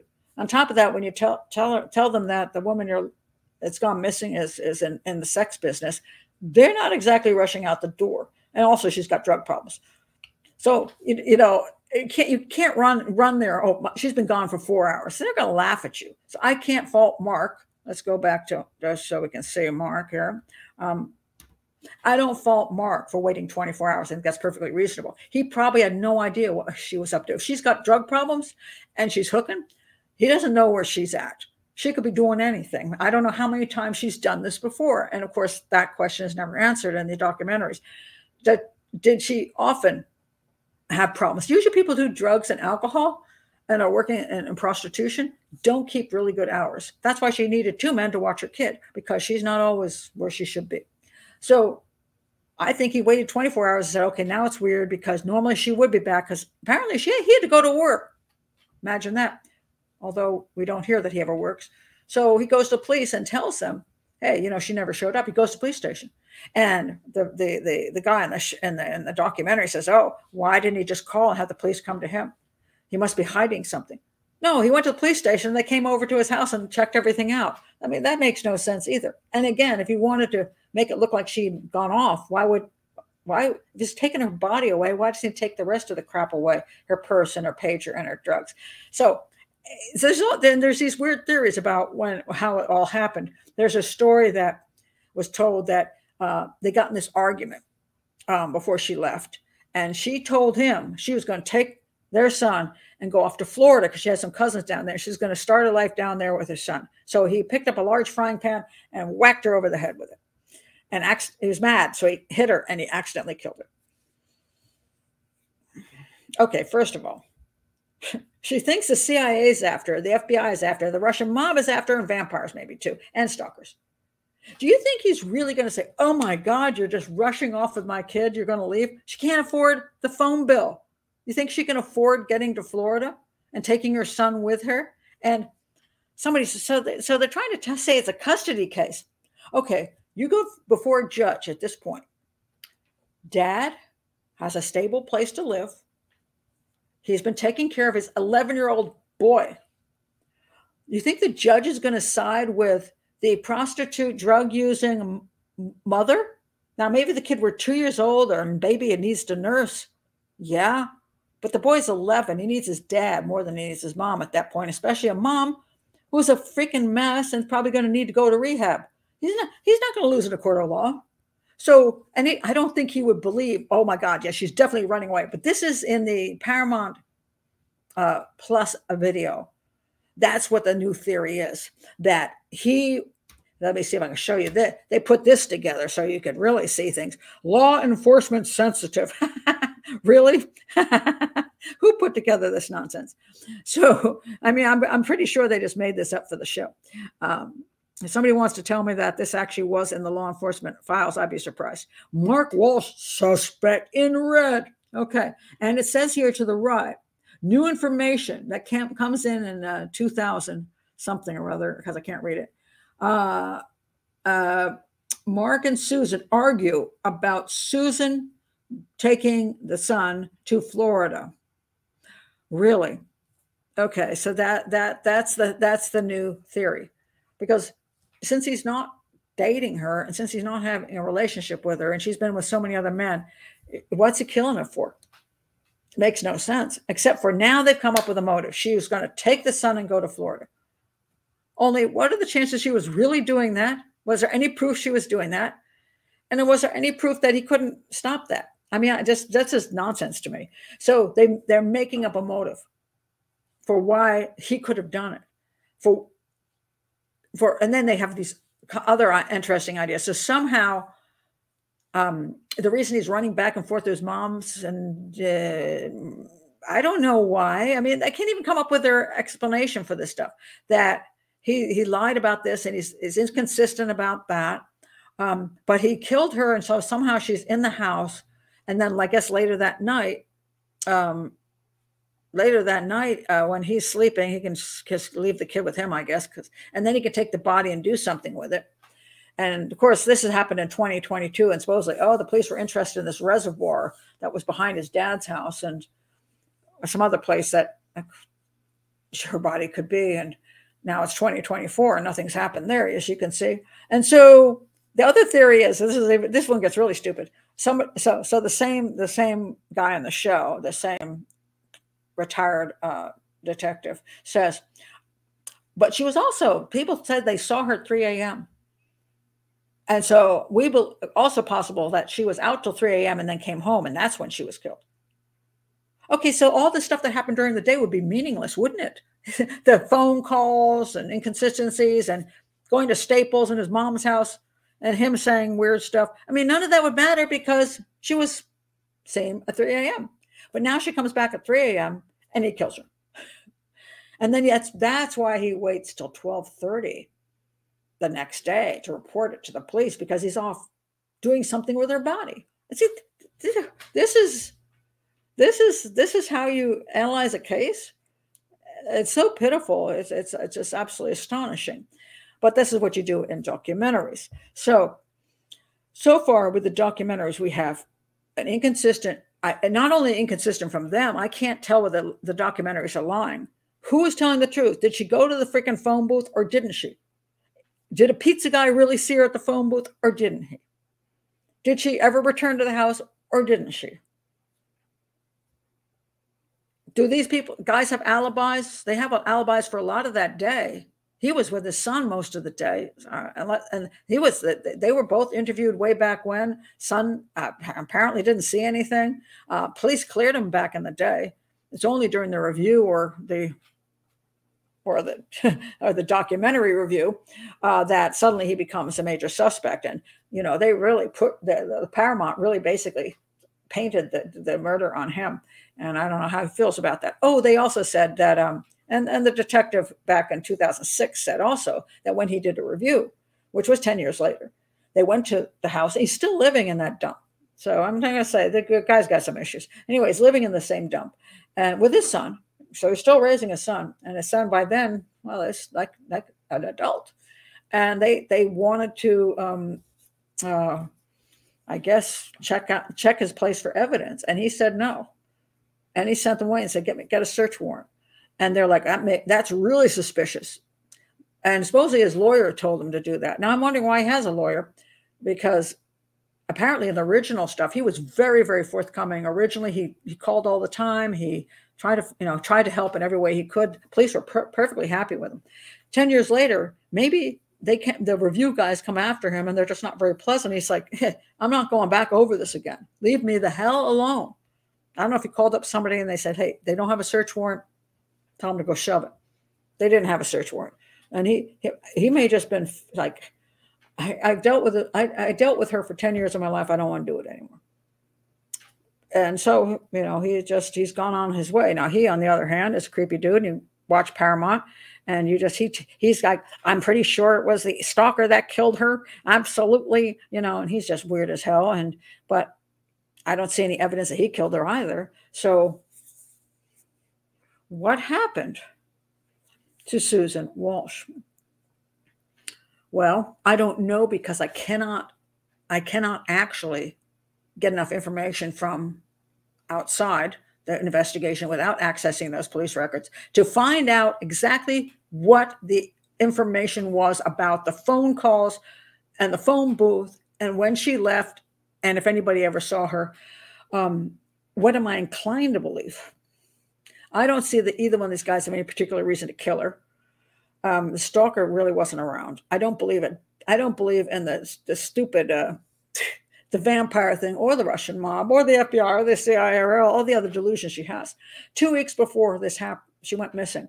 She said to her, the people, the woman, her friend who was making the, the, the film stripped, that she was going downhill. She was highly depressed. Supposedly, she had attempted to commit suicide. Um, she couldn't handle being in that sex world anymore, but she didn't know how to leave it. Um, she was a wreck, and they said she seemed completely off. Um, they thought she might be on drugs. They didn't know.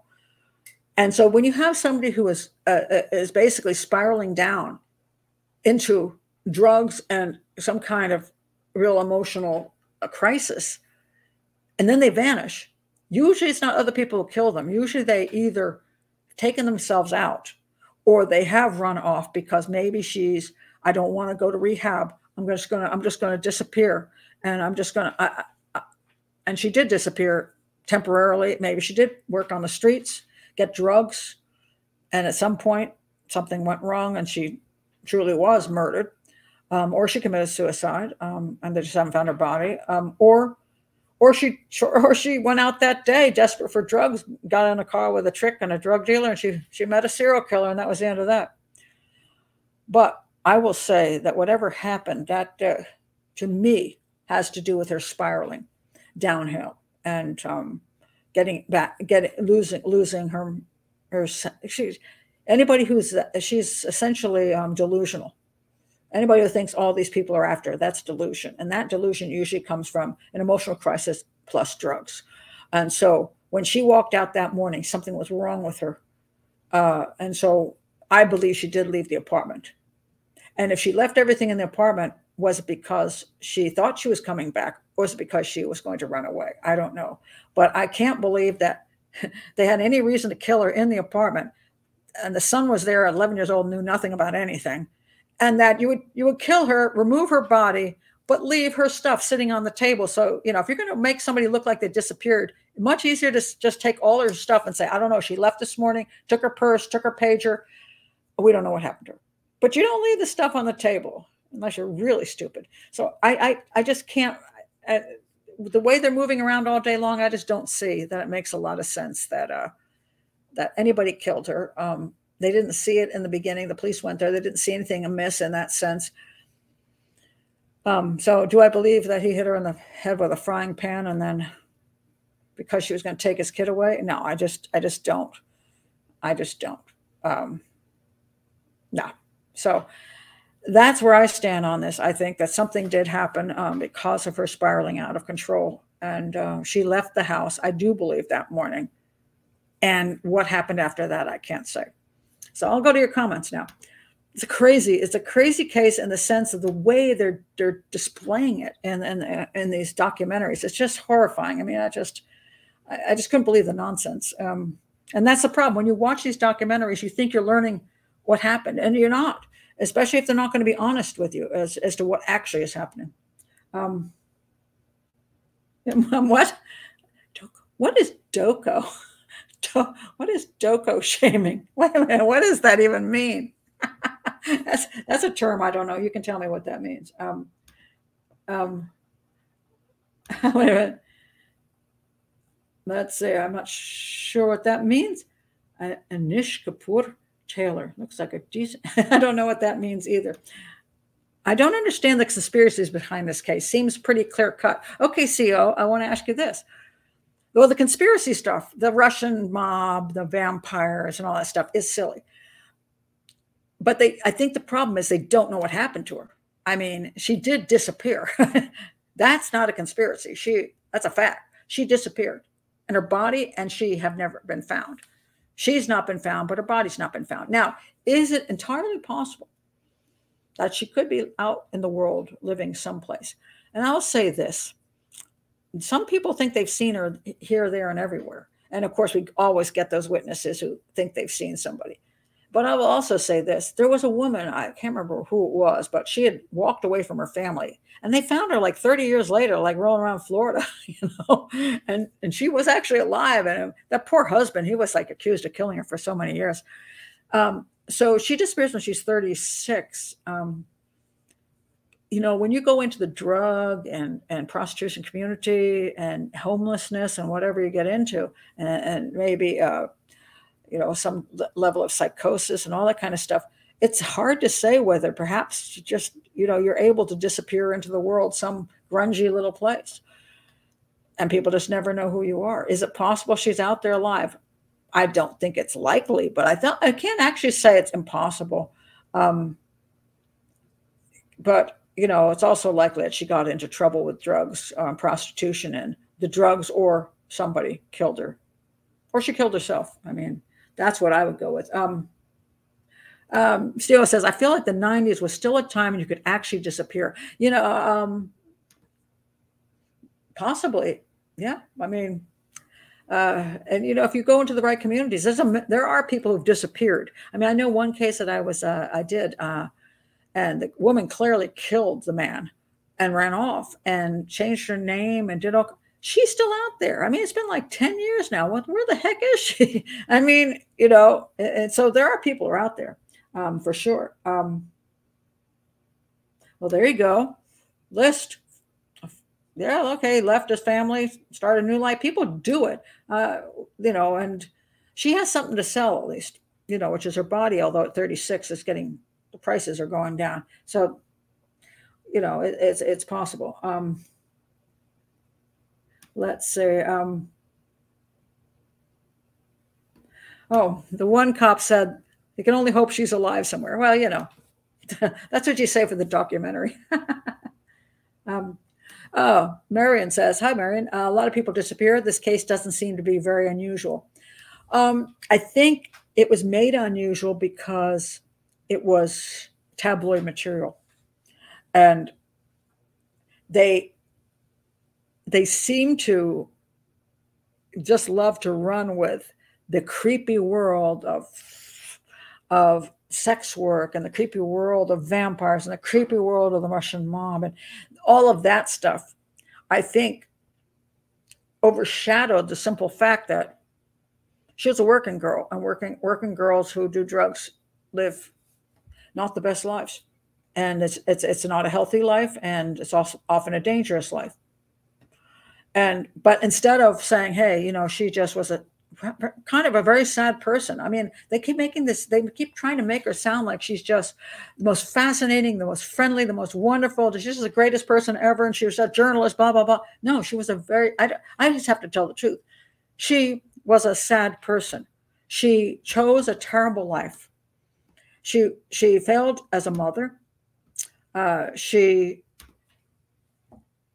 she lived a sordid, horrible life. And she was poor, broke, and drug addicted. This is this is not something that's good. Yes, I wish she had. Apparently, she had an ability to write. She went to college for God's sakes. Don't I wish she had chosen a different route, or she tried the, the, the dancing while she was in college and said, you know, I got through college. I don't need to do that crap anymore. And then she went on with her journalism career. Why didn't she do that? Why didn't she make something of herself? But she didn't. Um, she she descended into a very very dark world and and probably either you know said a very tragic ending one way or the other it's it's not it's not a pretty story and they they just keep trying to blow it up as some kind of like i don't know fantastical world or something i just think that's it just annoys me because they want you to see that's why i put the pic these pictures I do, i'm not putting those pictures on my, my thumbnail just because i know everybody be pissed at me but I'll put those on my thumbnail. This is what people want to say. Oh, she was no, she was. This is the um, this is a journalist look, and this is there she is going. You know, she's she's just on a, a she's been part of a book, and she's uh, she's all happy at a book signing, and here she is with little cute pigtails. This is the this is the vision they want you to have of of of Susan. Um, but but is that who she was at the end? And that's the sad thing. She might have been these different parts of her were there in reality. I'm not saying she's not a human being. I'm not saying you shouldn't care about her. I'm just saying that these what she was eventually she destroyed. She destroyed what was good when she descended into this horrible world. And to make it sound like a good world, like it's not a big deal. She chose to do this. She should have the right to do this, blah, blah, blah. No, she became a drug addict, an alcoholic, and a prostitute and a, a very poor person who disappeared. This is not a happy thing. It's not. And I hope every every male and female out there realizes this is not a way you want to go in life. It's not. Um, was her father alive when she disappeared? He looks squirrely. there, I can't. I, I think she. I think he was alive. I'm not I'm trying to remember. I, I know that they try to make something of her her upbringing had issues. Again, I don't know the truth of any of this crap, you know, because where's the proof? You know, where's the proof? Um, let's see. Um,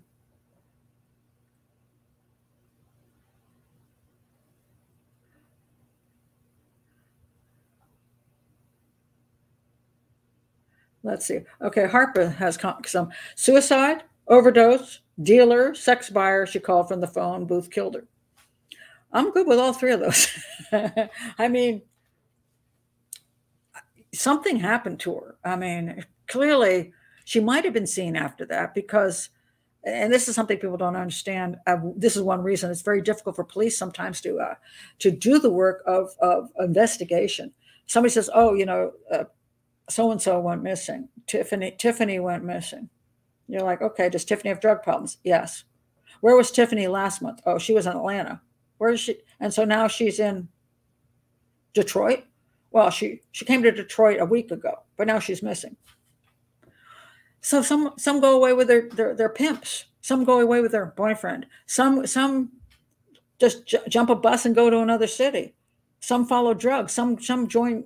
There's all kinds of things they do. The problem is when you live a life like this, all kinds of things can happen. And a majority of the time, you're not getting the person that is being investigated isn't being killed. They're just they're just off doing something else. You can't chase every person who is living a underground lifestyle across the damn globe. You can't do it. You, you know, you have to have some proof that something went wrong, that they truly are in trouble. Um, usually, by the time you know you can even figure that out, they're usually dead. Whether a serial killer got them, because prostitutes are targets for serial killers. Why? Because when they go missing, it's not that the police don't care; it's they have no clue who the hell took them. This is the way it works. All you need is to drive up and I, I, point I've, I've done this scenario before but i think it's worth doing over and over again so people understand this so you have a, a, a, what you call john and john he goes up to the corner and on the corner is standing tiffany and candy and susan okay tiffany candy and susan are on the corner john call, calls up and says hey girls and then tiffany decides to go with john Tiffany gets in the car with John and he drives away. Tiffany, he pays Tiffany, they have sex. John brings Tiffany back and drops her back off. And the girls say, Hey, Tiffany, how was it? He's like, He was all right. He was pretty decent. And he pulls up another week. And this time he says, Hey, Candy. And Candy goes with him, and Candy is brought back. And so Candy and Tiffany both say the guy's pretty cool. One day he pulls up, and Candy and Tiffany aren't there. Only Susan's standing there. he says, Hey, Susan, how about it? Susan's like, Well, Tiffany and Candy came back. She gets in the car, but now there's no witnesses. He drives away with her. He, he, he rapes and murders her, dumps her body in a field someplace, and drives off. Now, the problem is when the police go to investigate, they're like, Who saw, who was the last person to see Susan? Tiffany and Candy say, Oh, we, were all, we weren't with her. She was off by herself. Nobody saw, and nobody saw Susan get into a car with John the serial killer. There's no proof of that. Then they ask, has any guy been around? And Tiffany and Candy both go, yeah, well, this is one John that both of us, you know, we did stuff with him and he was real nice and brought us back. So they don't suspect him because they are still alive, right? But that's not how it works. So serial killers know that they all they do is find a girl by herself. And once they got her in the vehicle, she's dead uh, or some other way that he gets her alone. Um, uh, so, and drugs, you know, drugs play a huge part in it because when a person becomes desperate for drugs, they will get in the car with anybody. They will. And so, yeah, the drug dealer could be also a serial killer. Um, or a serial killer could offer her drugs. Or, or she could have OD'd. We have no idea. And um, unless they unless she pops up someday or a body pops up someday we probably won't know we just we just won't that's the way things work. Um, um, michaela says a life is a life. It doesn't matter if you're a crack whore. That's true.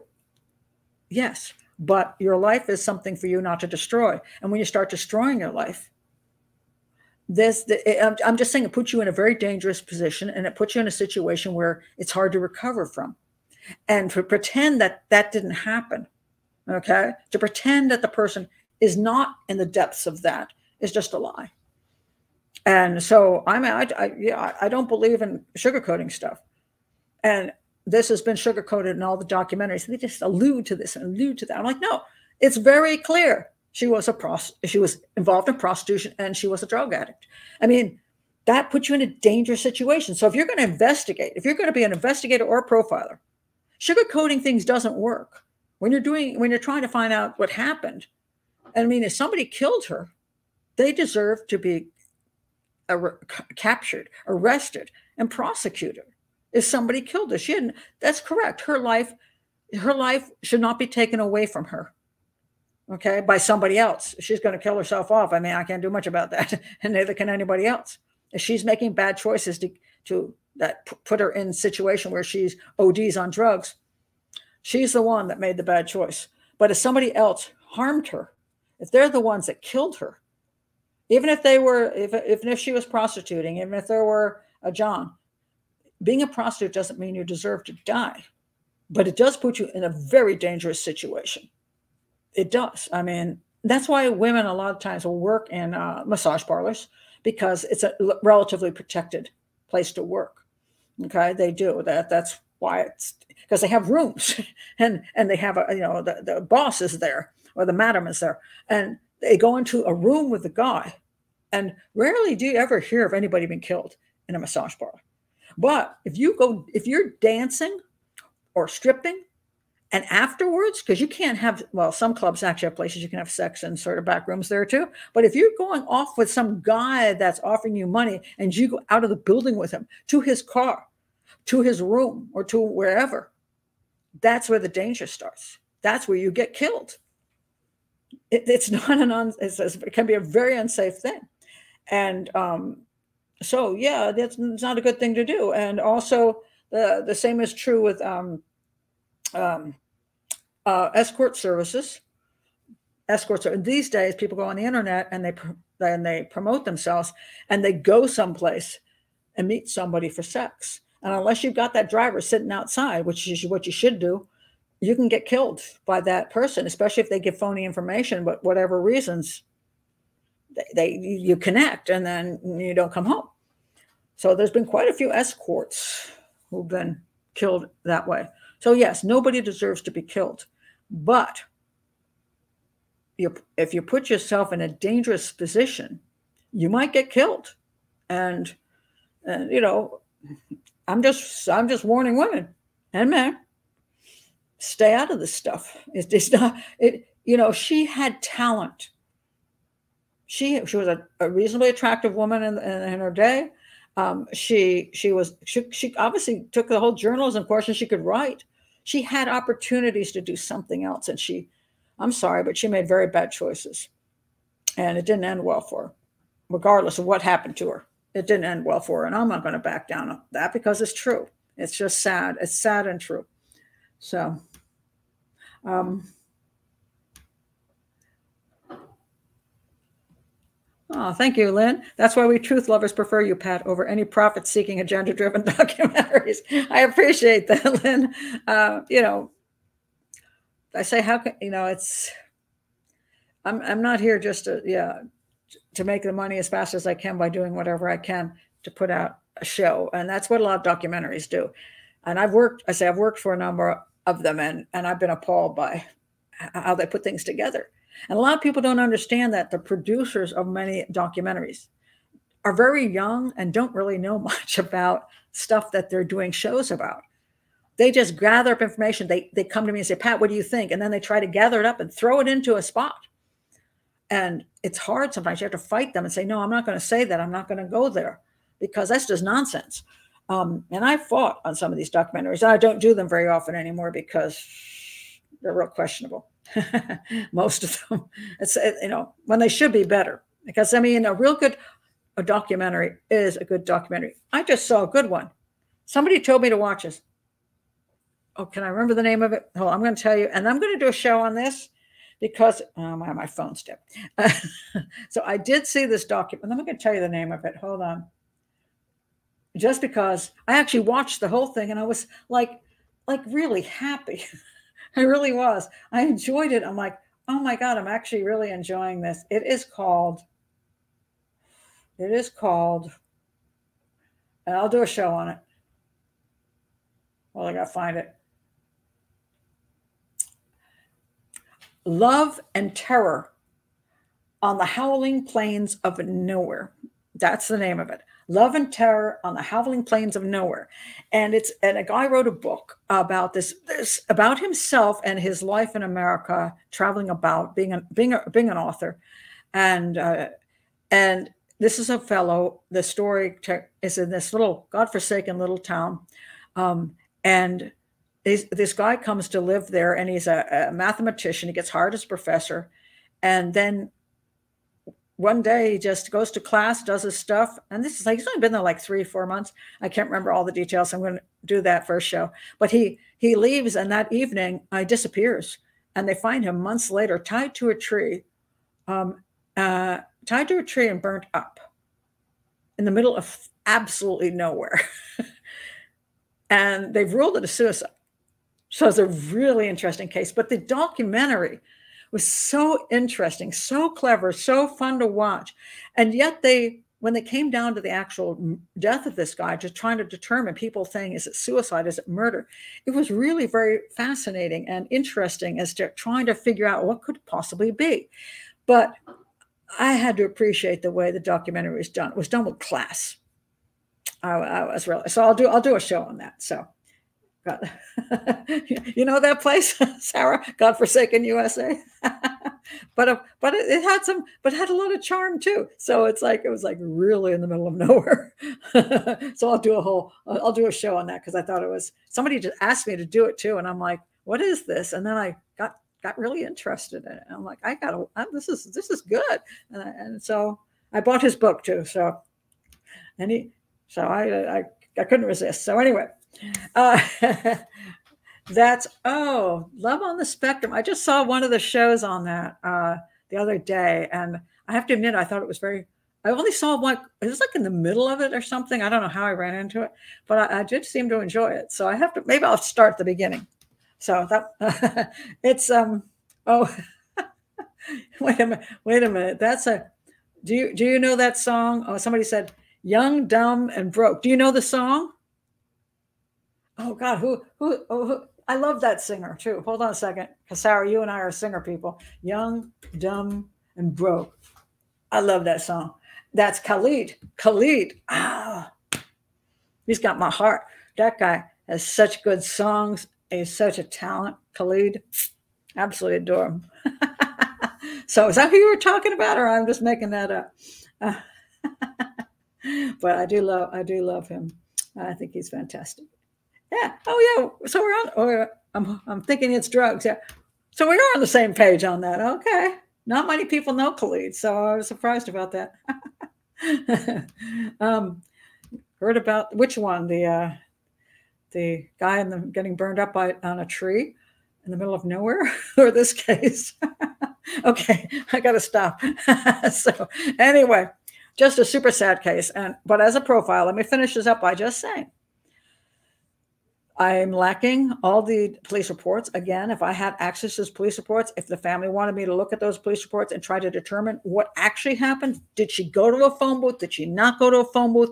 Or is her husband's ex-husband squirrely enough to kill her, uh, or her vampire boyfriend is he squirrely enough to kill her?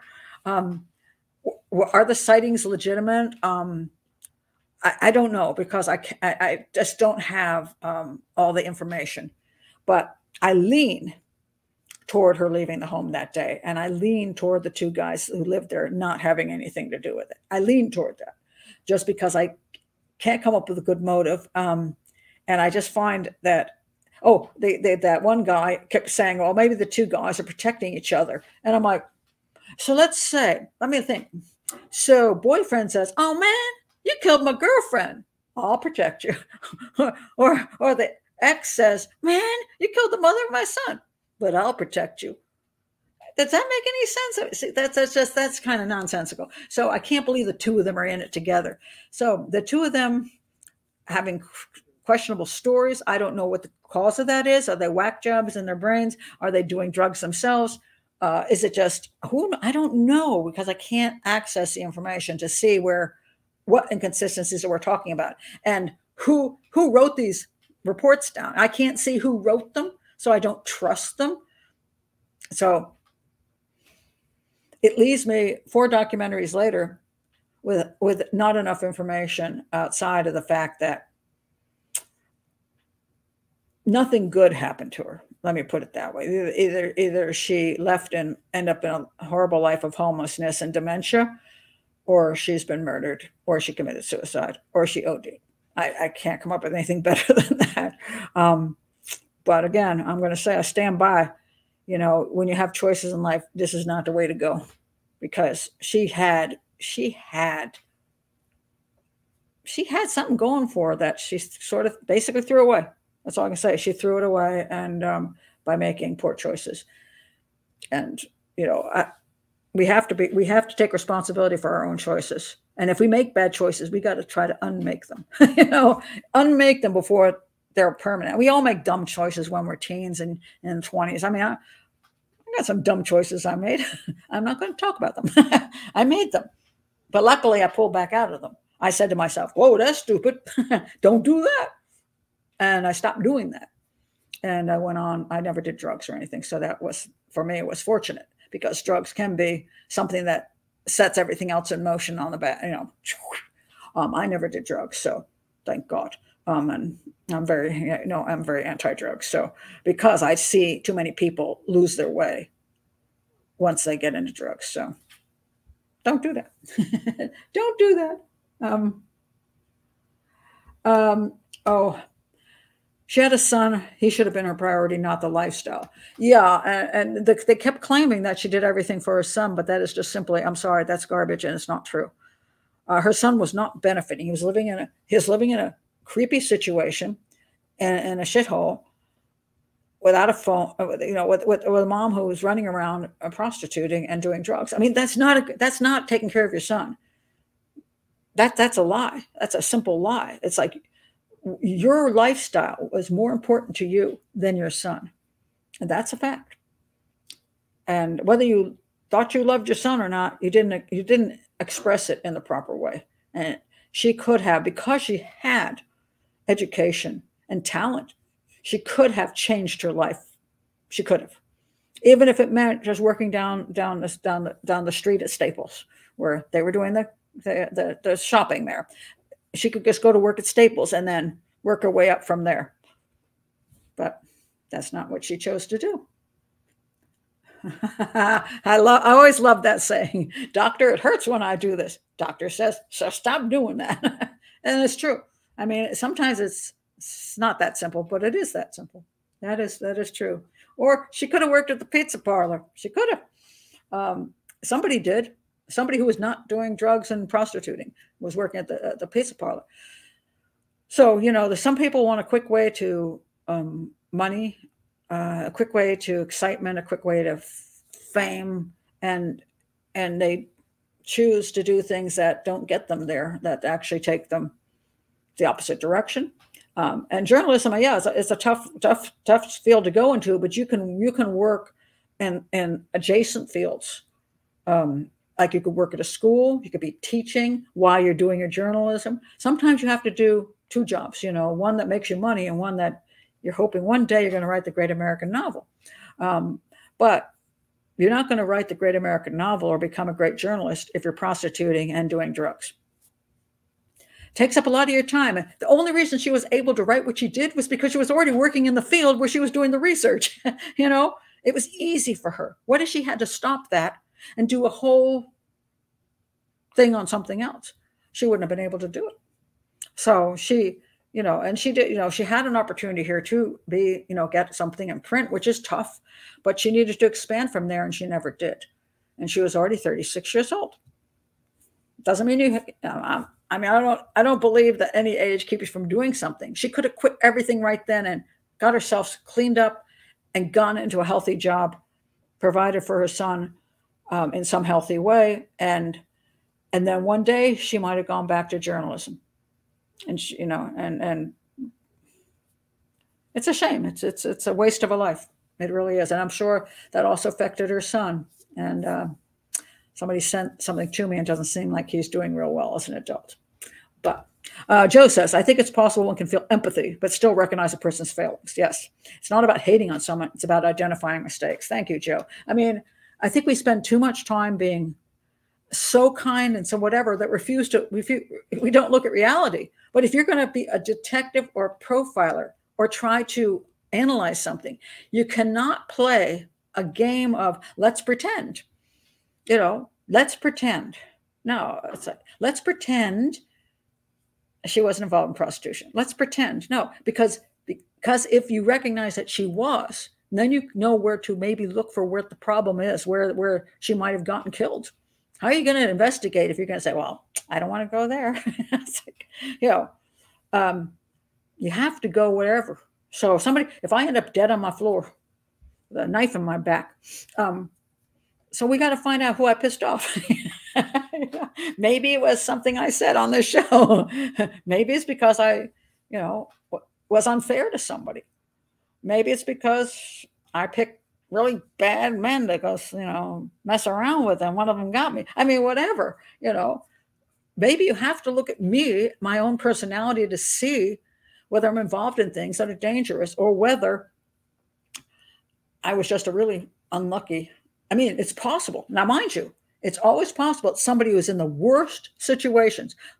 She could be a drug user, a prostitute, whatever. And she literally could be walking home from the, the phone booth and get grabbed by a serial killer who doesn't even know who the heck she is. that is possible, you know. So sometimes it can be that no matter that your life has nothing to do with what happened to you. That is something just one of those completely freaky things where somebody just chooses to attack you, break into your house, don't know who you are. And so your lifestyle has nothing to do with what happened to you. So you, you can always, you can, so even in this case, you have to accept that's possible. But I see too many people trying to play down everything except for the vampire and, and stuff, whatever. Um, instead of saying, you know, she was in the last, and usually what happens right before somebody disappears or gets something happens to them, you look at exactly where they were, and even her friends say she was she was spiraling downhill. She was seemed she seemed off. She said she was depressed. She said she was, you know, she the life had got got got just was destroying her. She said all these things two weeks before she disappears, along with all the, along with all the um, uh, delusional stuff. And so now we're going to say we shouldn't look at that. We should pretend none of that is true. You can't do analysis like that, you know. So, and that's a fact. So, what? Watch Pat's rape video on Williams. Williams. I'm trying to figure out who Williams is. But what show was that? I, I, you know, it's funny because people, I, you know, one of the things that'll happen, by the way. So I'll do a show like this, and, three years from now, somebody will say, "So Pat, tell me about this," and I'm like, "I don't even remember the show. I I'm having a trouble remembering the case." you know, because I'm doing so many of them. Once I finish with it, a lot of times I, am not going to me- remember the details unless I go back and watch my entire video over again and go back through it all. So, but um, I'm not sure. Oh, Wendy Williams. Wendy Williams. Oh, see, I'm like, what case was that? Williams, Wendy Williams. Yeah, yeah, that was um, mm, that's a whole nother story. Oh Lord. Um, uh, but um, two days ago. See, I can't remember two days ago. so I do a lot of crap. hi, Sky Ricky. nice to see you here. You're a little late, unless I missed you coming in. Um, you have to be as real as factual as you can be when you're doing this kind of thing. You know, it's a whole different thing if you're in. Well, you know, even if let's say you're doing therapy, you know, if you're a therapist, somebody comes into you, you can't help them if you don't know the truth if you're going to play a game uh, and they're going to present themselves as something they're not, you can't help them because obviously she had some real deep seated stuff that put her into a, a life like that. And um, to but uh, to say to um, sugarcoat it, you know, if I were a therapist, that would not be the way to help her. I would just have to find out why you're why have you chosen this life? Why do you want to stay in this life? What is what what's up with that?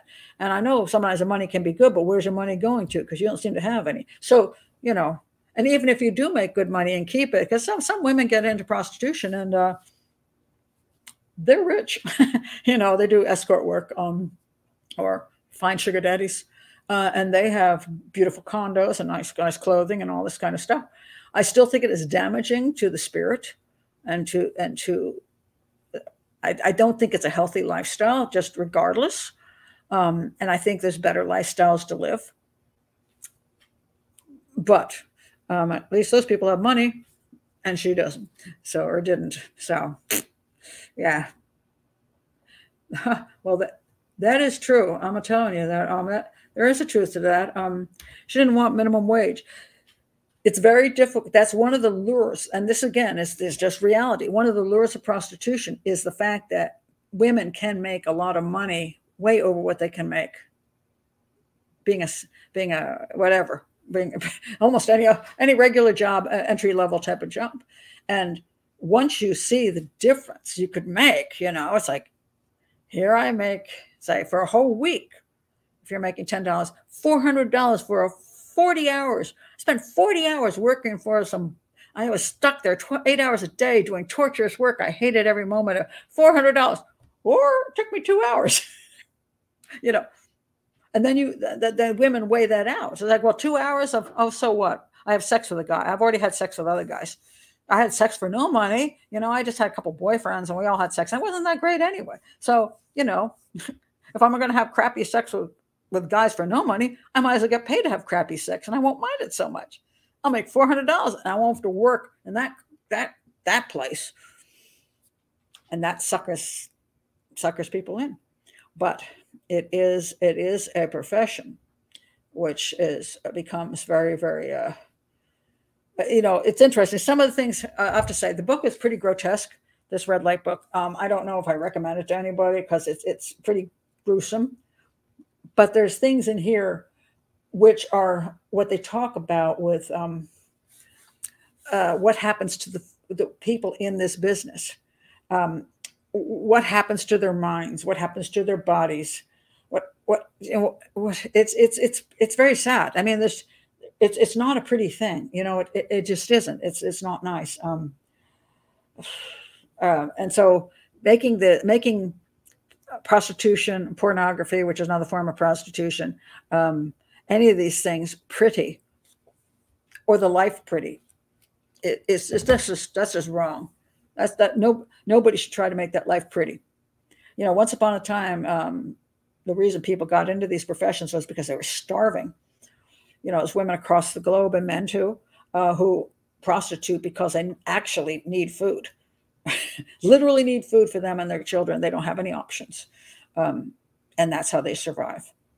There's a difference between prostitution for survival, which is very unpleasant, and prostitution because you think it's a lifestyle that's going to benefit you, which it's not. It always has a detrimental uh, effect. So, and that's my that's my little soapbox for today. Anyway. okay, I'm going to go. Let's see what else. Okay, I'm, I'm past my two hour point now.